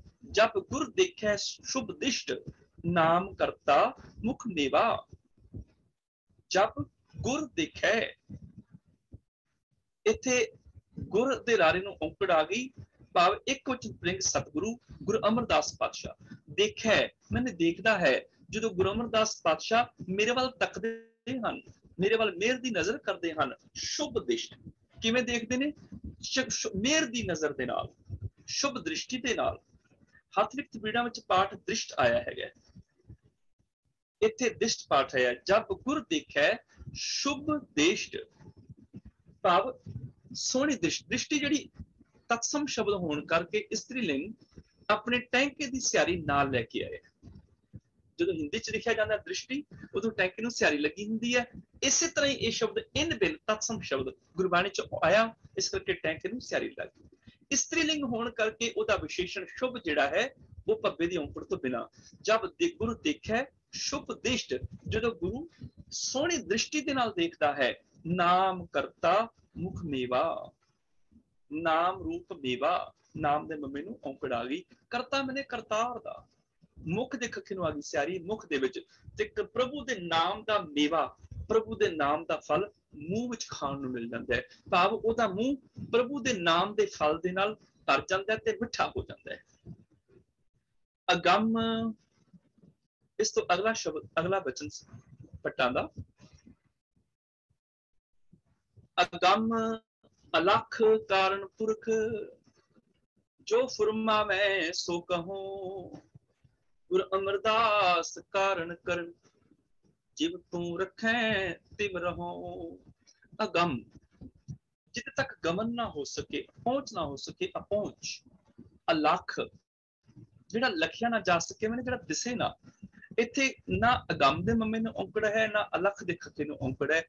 ਕਾਰਨ ਪੁਰਖ ਪੁਰਖ ਦੇ ਖੱਕੇ ਨੂੰ ਵੀ ਔਂਕੜ ਨਹੀਂ ਇਹਦਾ ਮਤਲਬ ਇਹ ਸਾਰੇ ਸੰਬੋਧਨ ਨੇ हे ਅਗੰਮ ਇਹ ਵਿਸ਼ੇਸ਼ਣ ਨੇ ਗੁਰੂ ਦੇ हे ਅਲਖ ਭਾਵ हे ਅਗੰਮ ਸਤਿਗੁਰੂ हे ਅਲਖ ਸਤਿਗੁਰੂ ਤੇਰੇ ਤੱਕ ਪਹੁੰਚਿਆ ਨਹੀਂ ਜਾ ਸਕਦਾ ਤੂੰ ਅਪਹੁੰਚ ਹੈ ਭਾਵ ਤੇਰੇ ਗੁਣਾਂ ਤੱਕ ਨਹੀਂ ਪਹੁੰਚਿਆ ਜਾ ਸਕਦਾ ਤੇਰੇ ਗੁਣਾਂ ਦਾ ਅੰਤ ਨਹੀਂ ਪਾਇਆ ਜਾ ਸਕਦਾ ਗੁਰੂ ਤੱਕ ਤੇ ਪਹੁੰਚਿਆ ਜਾ ਸਕਦਾ ਹੈ ਗੁਰੂ ਦੇ ਸਾਰੇ ਗੁਣਾਂ ਦਾ ਅੰਤ ਨਹੀਂ ਪਾਇਆ ਜਾ ਸਕਦਾ ਉਹ ਅਪਹੁੰਚ ਨੇ ਅਲਖ ਗੁਰੂ ਦੇ ਸਾਰੇ ਗੁਣ ਨਹੀਂ ਦੇਖੇ ਜਾ ਸਕਦੇ, ਉਹ ਬਿਨਾਂ ਦੇਖਣ ਤੋਂ ਅਲੱਖ ਹੈ।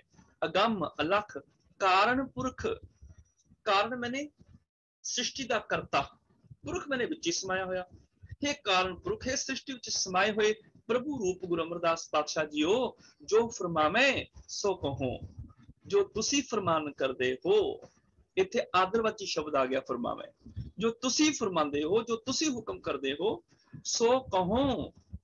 ਕਹੋ, ਊੜੇ ਨੂੰ ਔਂਕੜ ਆ ਗਈ, ਇਹਦਾ ਨਾਸਕੀ ਉਚਾਰਨ ਆ ਗਿਆ ਉੱਤਮ ਪੁਰਖ ਵਾਸਤੇ। ਉਹ ਕੁਝ ਮੈਂ ਕਹਿੰਦਾ ਹਾਂ, ਜੋ ਤੁਸੀਂ ਹੁਕਮ ਕਰਦੇ ਹੋ, ਮੈਂ ਉਹੀ ਕਰਦਾ ਹਾਂ। ਗੁਰੂ ਅਮਰਦਾਸ, ਕਾਰਨ ਕਰਨ, ਜਿਵ ਤੂੰ ਰੱਖੈ, ਤਿਵ ਰਹੋ।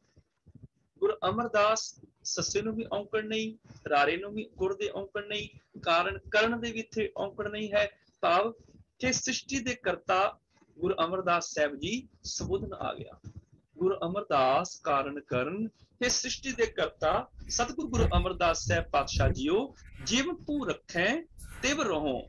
ਜਿਵ, ਇੱਥੇ ਜਿਵ ਤੇ ਤਿਵ ਆਮ ਤੌਰ ਤੇ ਪਾਠ ਕੀਤਾ ਜਾਂਦਾ ਹੈ, ਜਿਵ, ਤਿਵ, ਜਿਵ ਜਿਵ ਹੁਕਮ, ਤਿਵੈ ਤਿਵਕਾਰ ਨਹੀਂ, ਇੱਥੇ ਜਿਵ ਦਾ ਮਤਲਬ ਜਿਵੇਂ ਤੋਂ ਬਣਿਆ ਹੈ। ਜੀਵੰ ਵਾਹ ਤੇ ਹਲਕਾ ਜਿਹਾ ਨਾਸਕੀ ਉਚਾਰਨ ਹੁੰਦਾ ਹੈ। ਤੇ ਵਾਹ ਤਿਵੇਂ, ਇੱਥੇ ਵਾਵੇ ਤੇ ਵੀ ਹਲਕਾ ਜਿਹਾ ਨਾਸਕੀ ਉਚਾਰਨ ਹੁੰਦਾ ਹੈ। ਜਿਵ ਜਿਵ ਹੁਕਮ, ਤਿਵੇਂ ਤਿਵਕਾਰ ਇਸ ਤਰ੍ਹਾਂ ਜਿਵ ਤੂੰ ਰੱਖੈ ਜਿਵ ਮੈਨੇ ਜਿਵੇਂ, ਤੂੰ ਰੱਖੈ।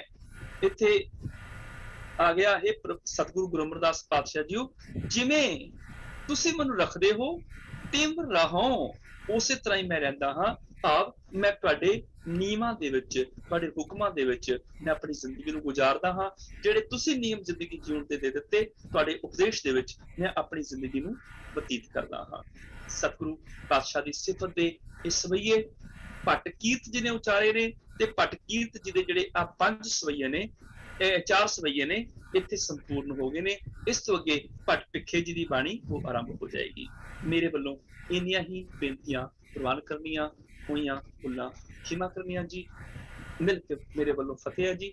ਵਾਹਿਗੁਰੂ ਜੀ ਕਾ ਖਾਲਸਾ ਵਾਹਿਗੁਰੂ ਜੀ ਕੀ ਫਤਿਹ। ਉਪਰੰਤ ਸਵਾਲ ਜਵਾਬ ਦਾ ਆਪਾਂ ਸੈਸ਼ਨ